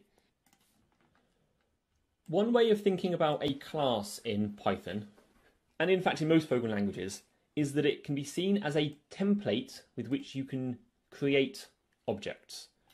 So the code here doesn't represent one single dog, it represents all possible dogs we might want to create. So here we created one instance of the dog class, we called it Bruno, and we called the variable name our dog. But we can create more. We can create an other dog, and there's been some great examples of dog names in chat. And let's go with Achilles. And what colour is Achilles? Achilles is blue, a very unusual colour for a dog. It's probably been mistreated. There we go and I'll just run that our dog Bruno line again, so they're next to each other. So here we've called the dog class two different times. Each time we've called it, we've created a different object. And so the way that works when you're inside your class is that when we called our dog, and we call dog Bruno Brown, dog is then going to look at the dog class because we're calling it with the brackets, it's going to create an instance of that class, which is going to need to be initialized. And so Python will automatically call this magic function underscore underscore init, sometimes called dunder init for double underscore init. And it's going to pass in the two arguments that we passed in here as name and colour. The self object here is referring to the same thing as what's going to get passed out at the end. So self here refers to the same thing as our dog. And so when we do self.name, we are effectively doing our dog.name equals, which is why our dog.color, our dog.name give the right thing. When we call this class a second time, when we did other dog, this time in the function, name and color are obviously different because we're passing in different arguments, but self is also pointing at a different object. Self this other time is pointing at the same thing as other dog. And so self is the special argument in any class function which gives you access to the object that you're currently talking about. And so because self allows us to talk about various different things about the class, we can use it both to put data into the class, we can also use it to get data out. And so now let's see how we can extend our class here by adding some functionality to it. I said at the beginning that classes combine data and functionality. So far, our class is all data. It just defines some data which is held by the class we want to give our class some functionality as well. And to that end, I come back to our describe function. At the beginning, I was lamenting the fact that you have to remember not only that the first describe function, if I scroll up, took a dictionary and you had to remember to pass in the word dictionary, you had to also make sure the dictionary had the name and the colour attributes or keys inside it.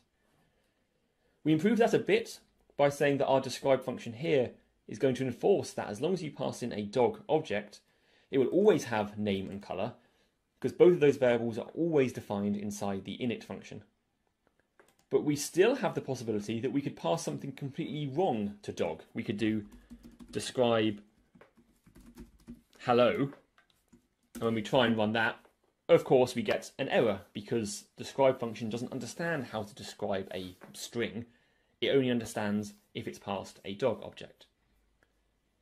And so what we want to do is make it so that our function can only ever be called on a dog object and it can't be used outside of that context. And so I'm going to bring up our definition of dog again and run it so that it's on the screen. I'm going to go back up to our definition of our class. And I'm going to show you how you can take this function that's currently freestanding and move it so that it's a function inside the class. I'm going to copy the code because it's going to be only a short few steps. We move it so that it is alongside the init function. We paste this code here and make sure that it's indented so that it's at the same level as init and the internal indentation is all the same. The next thing we need to do is like we had with the init function, the first argument was self. Here, the first argument of describe is going to be self. And as self here was referring to an object of the class dog, likewise, self here can refer to an object of the class dog in the same way that the dog variable in our freestanding function did. That means we can simply rename this variable to be self, rename this variable to be self, and rename this variable to be self, and that's all we have to do. We have now moved the describe function inside the class to be a class function. Class functions are sometimes also called class methods. Those two bits of terminology are somewhat interchangeable in Python. Now when we define this class, it has got two functions on it. I can make our Bruno dog again. We have to recreate our dog because it was still referring to the old version of the class. And that means that we can now do our dog dot, and instead of doing dot name or dot color, we can now do dot describe.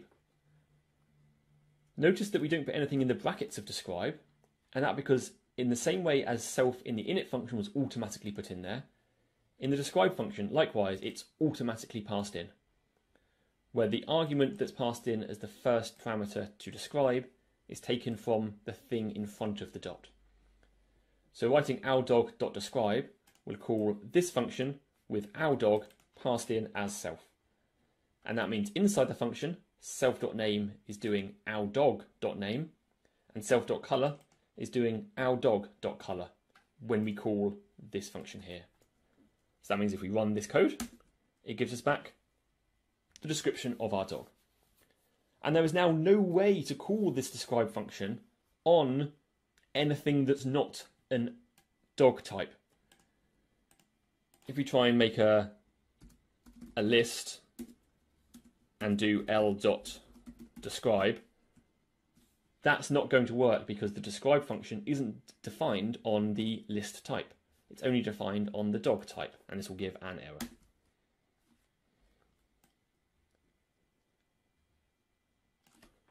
So I'm going to ask you to take a moment just now and do this same exercise with your dog class. Take the describe function, move it inside the class so it becomes a class function or a class method. Redefine your dog, of course you can give it any name and colour that you wish. And check that calling our dog.describe does the right thing and prints something out. Take a minute or so now to do that and then we'll be moving on. Harry, you're seeing a strange output of bound method dog describe and then a whole lot of hexadecimal. And I bet I can reproduce that. So I imagine what you've done is type something like our dog dot describe and then haven't passed the um, uh, brackets afterwards. So if I run that, I get a very similar thing. And this points to a interesting feature of Python, which we cover in more detail in our parallel Python course, and that is functions exist as objects in their own right. If you don't put the brackets afterwards, it tells you that thing you just told me about, that's a function, or as it calls it, a method that's been bound to the class. And so if we put the brackets afterwards, it does the right thing. So far, our dog is a little bit sad, really. It has a name and a colour, but it doesn't have any functionality. It can't do anything. It's entirely static. We create it, we give it a name and a colour, and then it exists in that form, changeless for eternity, or at least until we turn off our computer. We want to have the ability to represent data inside our classes which can potentially change over time. Something which is going to represent the state at one point in your program, you call some functions and it keeps track of things, and it has a different state at another point in your program. So we're going to make a new parameter or new attribute of our class, which, unlike these two uh, arguments here, we're taken from the argument list, you can just make static data which is attached to your class. So we can make a new variable, self.energy. This is going to represent how much energy our dog has. Now, if anyone has had a dog, you'll know that they have a lot of energy. But we're going to pretend that initially our dog is always created with an initial energy of 1 and some kind of units undefined. So this parameter here, this attribute, isn't being defined based on an argument being passed in, it's just statically defined to any new dog that's created to always have an energy of 1. So if I create that and I make our Bruno dog again, in fact, let's make a different dog because we've had some good uh, examples in chat. We had one earlier called Corona. And I'm going to make Corona gold. So now our dot our underscore dog dot energy is number one. It's got an energy of one, so we've got some information about it. So that's all very well. We can, you know, change the energy to be 100, and then it's got an energy of 100. But it's nice to, instead of having to dive into a class directly and change its parameters, to instead have functions which do the actions which we want this class to perform and keep track of the internal state for us. So we're going to be adding some more functions to our class which allow us to exercise our dog. So the exercise function is going to reduce the amount of energy that our dog has. So we go back to our class here, and we're going to add another function, def exercise. Again, it takes the self parameter, self argument. It's very easy when you're writing functions into classes to accidentally forget the self but you'll quickly notice it when you try and use the code. And the exercise function or method is going to print out a message telling us that uh, you take self.name for a walk. And then it's going to do self.energy. Notice that self here is the argument that's passed in, so it's referring to going to be referring to the same thing as this. Minus equals, that's how you decrement or decrease a number by a certain amount, 1. So this function will print out something and then reduce the energy by 1. So if we make our dog Corona again, we print out the energy.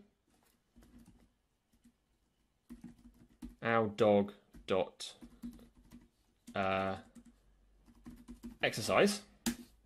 It prints out the message. We took Corona for a walk. We look at the energy a second time, we see the energy is now zero. If we make a second dog, to draw home the point that each dog object is an independent thing, if we make our Bruno again, uh, other other dog, other dog dot energy has not changed. So each dog has got its own internal energy attribute which it's keeping track of. So have a go at implementing the exercise function now, as well as adding in the energy parameter. Once you've done that, have a go at making a fourth function on the class called feed, which is going to feed the dog and increase the energy by one. I have on a screen here the example of the feed function. So the feed function works exactly the same as the exercise function. It prints out a message saying that the dog eats the food, and then it does self.energy plus equals 1 to increase the energy. So if we define that class, redefine our dog, we can now do other dog dot feed and eats the food. We can do it again and it eats the food again. So that if we look at other dog dot energy. The energy is now three. So it's a dog with an infinite appetite, which will accrue an infinite amount of energy. But such is life when you're simulating things on the computer. There's some text on this chapter here, which is um, uh, explaining how this stuff all works. So do have a look at this text later on. All these course notes will stay up permanently. So do have a look through the text here if there's anything you're not clear about. But have a look at the exercise at the bottom here, which is to edit the morse.py script, which is our script which is holding our library code, our functions, and our static data, and to create two classes. One a class called English message, which has the encode function moved inside it, and another class called Morse message, which will have the decode function moved inside it and then to change testmorse.py or make a new file called testmorse.py, which imports those two classes, makes a string and an English message from that string. So this is calling our first class. Calls the encode function on it to get back the encoded text string. Then to take that encoded string and to make a Morse message from it, and to call the decode function on that, and to check that we get our answer back at the end. Have a look at this exercise and see if you can create a class for the encode function called English message and a class for the decode function called Morse message. Again, there is an answer at the bottom of the section, so do feel free to have a look at that answer in case my description of the question isn't good enough, or if you want any help along the way. And likewise, feel free to post in the chat if you have any questions. I'll give you a few minutes for this one because it's a little bit trickier. As to your question there, Emma, about it not changing the energy, I'm going to show you on the exercise here what you've done. So you've written return that string in the same way as you did in the describe function. And that means as soon as the exercise function gets called, it's going to return that string and the function is going to end, which means it's never going to get to this second line here. Instead, change it so that you write print as a function so that it prints that, outputs it, and then carries on to the next line, and that should then work. Gunar's asking, what if I don't put init in a class? So in the example here, if I didn't have an init function at all, it would still work. It would mean that you can only call your function or create an object of your function without any arguments at all, which means that none of the parameters or the attributes of it which are assumed to be there will be created. You will effectively create an empty class which has no data, which only has functions. It's a perfectly valid thing to do if you want to bundle up a few of your functions under some kind of namespace. But on the whole, you usually want to have some data in your class as well as functions to act on that data. I'll go through the answer to that exercise on the screen now so you can all see how I can convert a function and some associated data into a class which is encapsulating both of those things.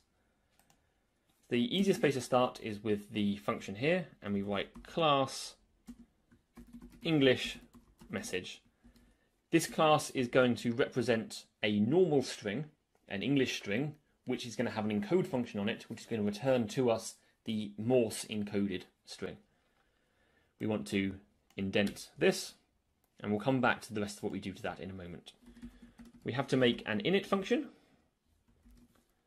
and the init function, like all functions, takes self, and that is, oh, and message. So we're going to make one class which represents a message, and that message is going to be wrapped up and saved into the class with self.message equals message. The other thing that we want to save into our class, because we want to use it inside our function, is the letter to Morse dictionary. So I'm just going to copy, in fact I'm actually going to cut it, and paste it into here, make sure everything's indented nicely, and write self dot letter to Morse.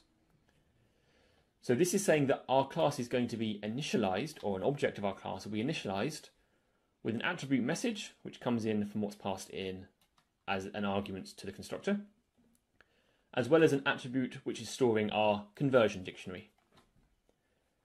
That means in our function down here, where we are going to be converting our message, it has to take the self argument. Now, message isn't going to be passed as an argument to self, and that's because we don't need to anymore, because we can access message through self as self.message. And so here, instead of writing message, we want to write self.message. And here, instead of writing letter to Morse, we want to talk about this letter to Morse up here. So we write self dot letter to Morse.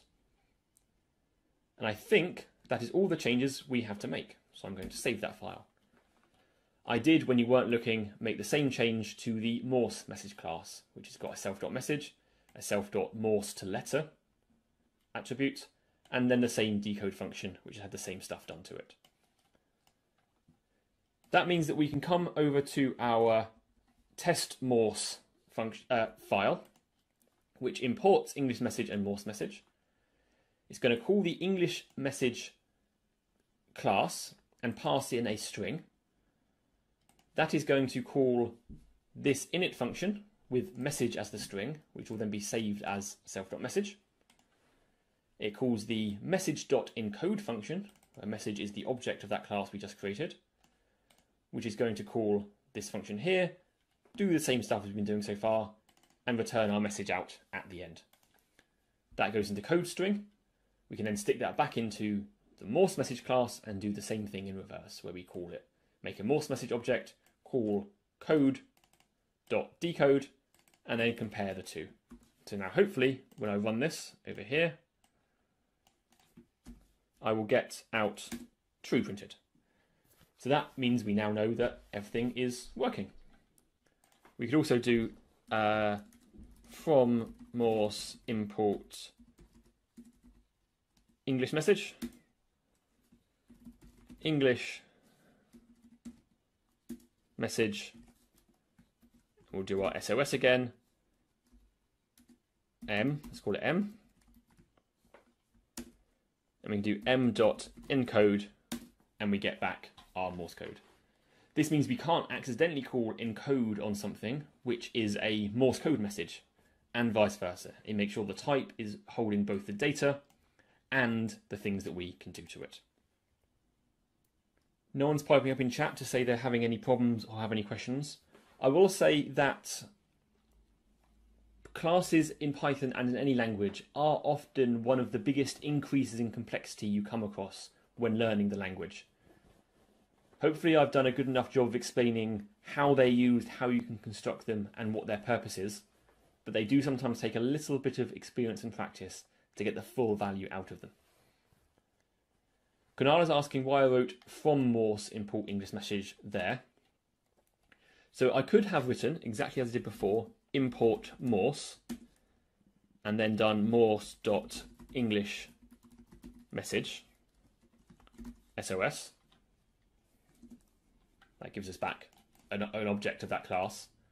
But by writing from Morse import English message, I've extracted out just the one thing that I care about from the module, and so I get access to the class name just by itself without having to write Morse in front of it. So the last section that we'll cover today, actually no, before we do the last section today, I think about naming. I did mention this earlier, but classes often have these capital letter names like Morse translator or dog. Whereas variable names and function names use this snake case. It looks like a snake it goes on the ground and it's got sort of up and downs to it. So snake case in Python is used for variables and functions and modules in fact. Whereas camel case, and it's so called because it's got these humps, is used for classes if you stick to this convention, then other people reading your code are going to understand what's going on. So the last thing I'm going to cover today is on the next section of the notes, and that's handling errors. So going back to our console, let's have a look at what these dog classes can do. So let's create our dog again so we know what state it's in. And let's make a other dog equals dog Bruno Brown. So we've got our dog defined. Our dog can do things. We saw before, we can perform actions on the dog. We can call these functions and we can do other dog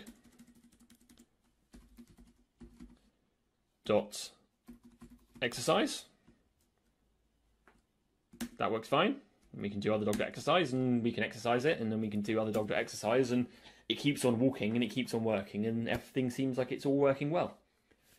And that is until we ask the dog how it's doing, and we look at the energy of the dog, and we see that somehow its energy has ended up negative.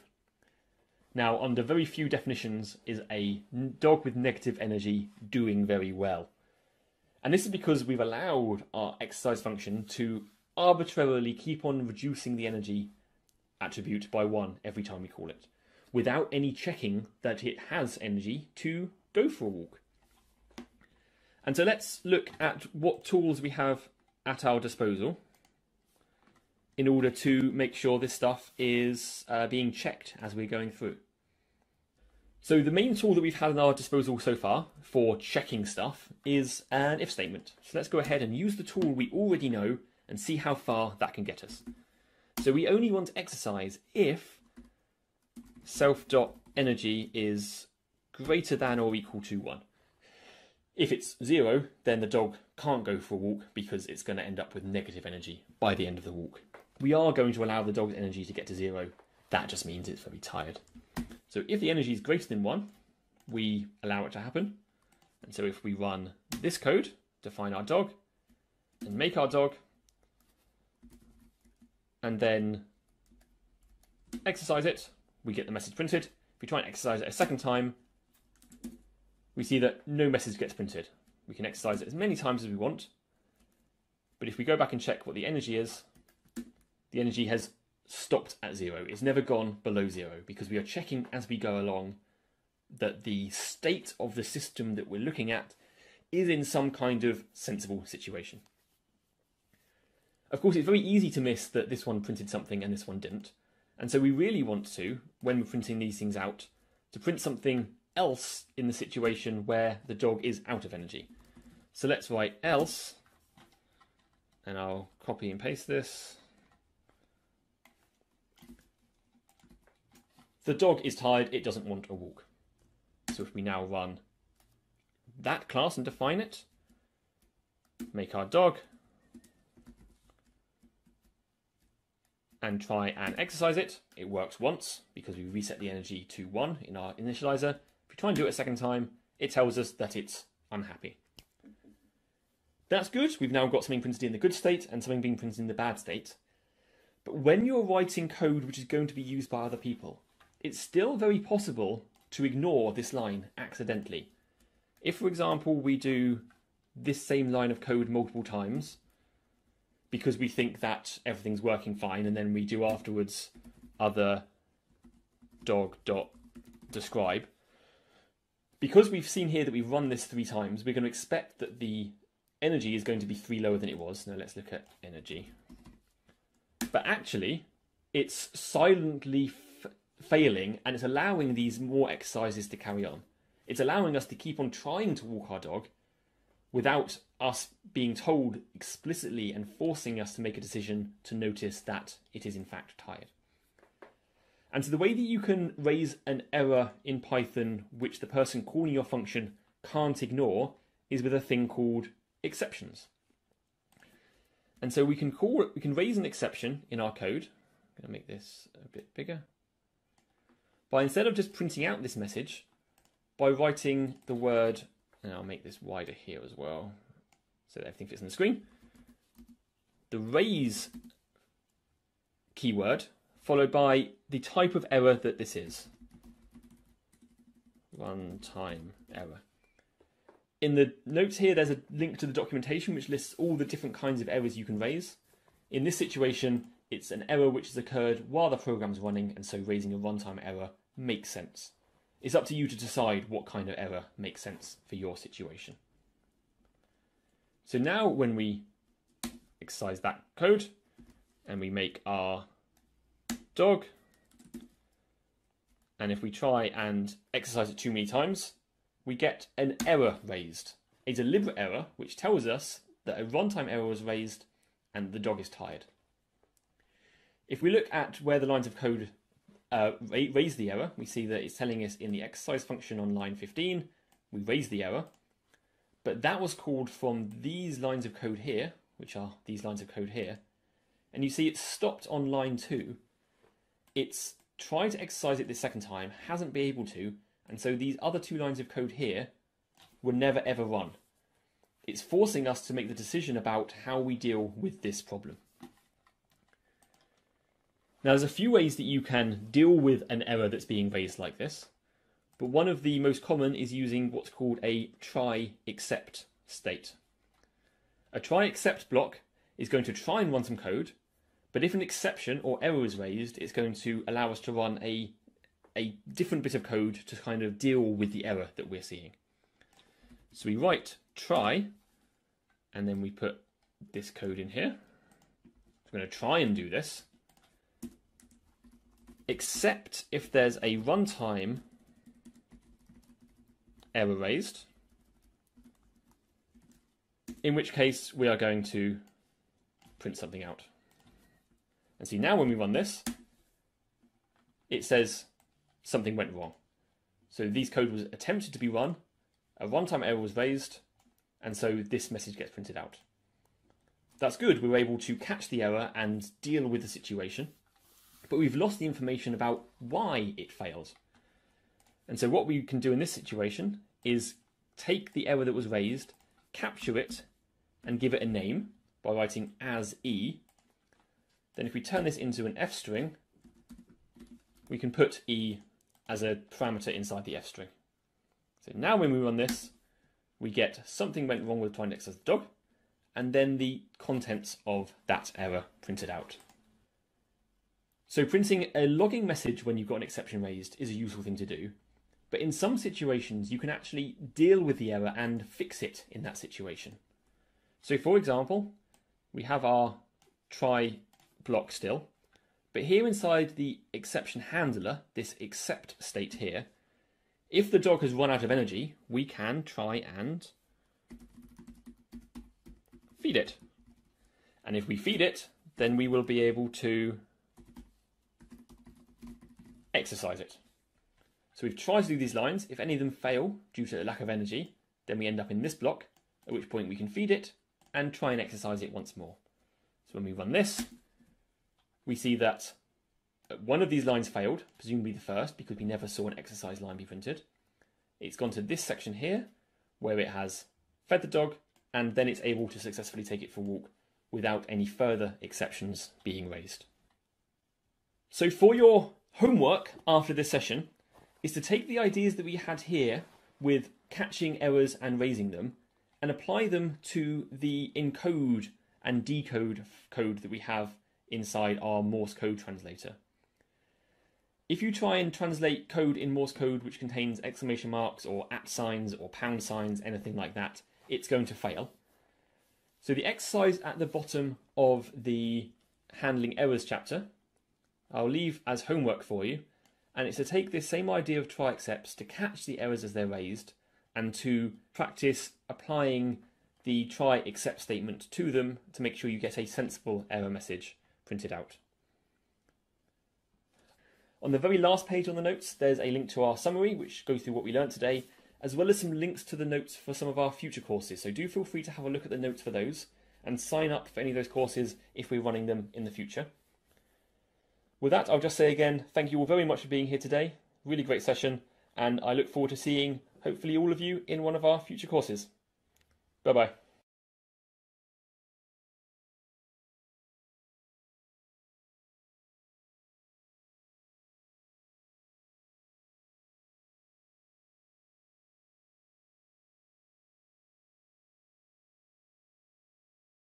Data analysis in Python. This is a continuation really only from our beginning Python course. We've tried to keep the requirements for this data analysis course as minimal as possible to make it useful to as wide a range of people at the university as possible. We don't want people to feel they have to be an expert in Python before they can start using it for making their job and life easier. So we only require a relatively small amount of Python experience um, but that said, there might be some things in this course which are new to you. So as we're going through, do feel free to ask in the chat if there's a particular piece of syntax or particular function that we're using that you're not sure how it works. Please do post a message and ask a bit of clarification, and we'll try and help out. In order to run the session today, um, in the previous classes, we've been using Jupyter Lab, which we've installed through Anaconda. Jupyter Lab, we've been running, uh, writing text files with our Python scripts in, and then running them in a terminal. In the session today, we're going to be using a tool called a Jupyter Notebook. Now, it's possible some of you have used a Jupyter Notebook before, so just to get a bit of a sense of the room, could people post in the chat whether they have or have never used a Jupyter Notebook before? No, good. So lots of people who haven't used them before, so that's going to be the first thing we go through today.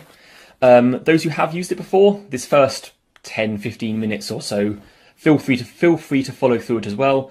Otherwise, since all the material is self-guided, um, you can just carry on through to the next section without waiting for me to get to it, if you so wish. So the first thing to make sure you've all got is Anaconda, Anaconda Navigator, all started up and running. So I'm just going to give you all a minute or so, or 30 seconds or so, to start that up and have it running in the background before I carry on to actually starting the session. Okay, so hopefully you will have Anaconda Navigator started up now and running. It should look something like what I see on my screen here. You might have a slightly different list of apps, or you might have slightly different versions of things, but hopefully it's a similar kind of idea. Now I said we were going to be using Jupyter Notebooks today. However, I don't want you to immediately click on the Jupyter Notebook launch button. If you do want to use that mode of launching Jupyter Notebooks, it's okay. It's going to work just fine. And if you feel more comfortable there, that's okay. But for the session today, we are going to use Jupyter Lab as the way to start um, the uh, Jupyter Notebook server. I'm going to explain what these terms um, mean in a little bit. But if you go ahead on the Jupyter Lab tile, which is probably the first one, and click on the launch button, that should open up in your web browser, one that I prepared earlier, that looks something like this. So I'll just move those to the side so we can see both of them. So click on the Jupyter Lab launch, and that'll open up in your web browser something that looks like this.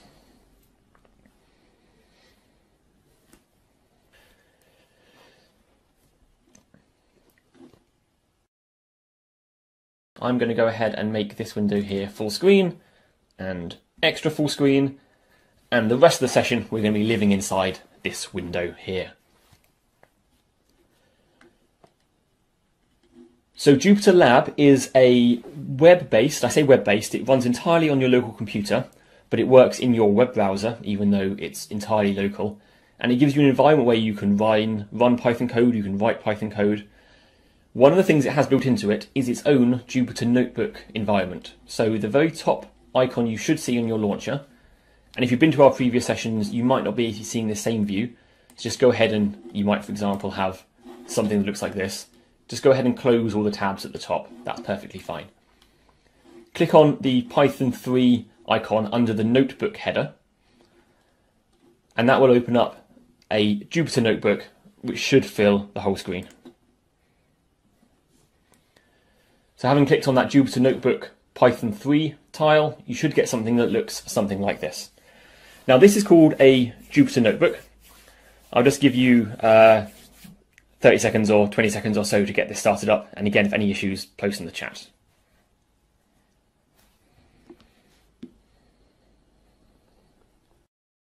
What we have here is a Jupyter Notebook. A Jupyter Notebook is a way of writing and running Python code in an interactive way.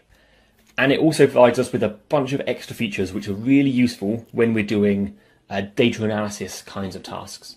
So at the first case, what we can do is we click inside the grey area here and we can type any Python code we like. I'm going to keep it nice and simple. We can print hello. Now, if you just press enter at the end of the line, it just puts another line inside that cell. So it doesn't run the code just by pressing enter. If you want to run this cell, you either click on the plus button just above it up there, or hold down shift and press enter. I'll click the plus the play button this time, but in the course of this session, I'll probably quite regularly be using shift enter or control enter to run the cells. So you will sometimes see me running a cell without clicking it, and that's what's happening there. If I click the play button, it runs that cell and prints hello. It also gives every cell that's been run a number, so you can keep track of which order they've been run in, because in principle it's possible to rerun cells that are further up the page after having run further cells that are further down the page. It can get confusing and we'll try and cover that later. So I'm just going to switch over to the notes now and copy and paste a few examples from here. So one thing we can do, as I said before, is have uh, code over multiple lines. Um, I'll just show that by typing. So A equals 5, B equals 7, A plus B. If I do Shift Enter, it runs that cell and displays 12 on the screen. Notice here in this second case, I haven't had to write print a plus b. I didn't need to do this because the way that Jupyter notebooks work is whatever the last thing in a cell is will be displayed onto the screen. So here, because a and b has the value 12, it's displayed 12 underneath the cell as the output for that cell. And you see the output and the input have got corresponding numbers.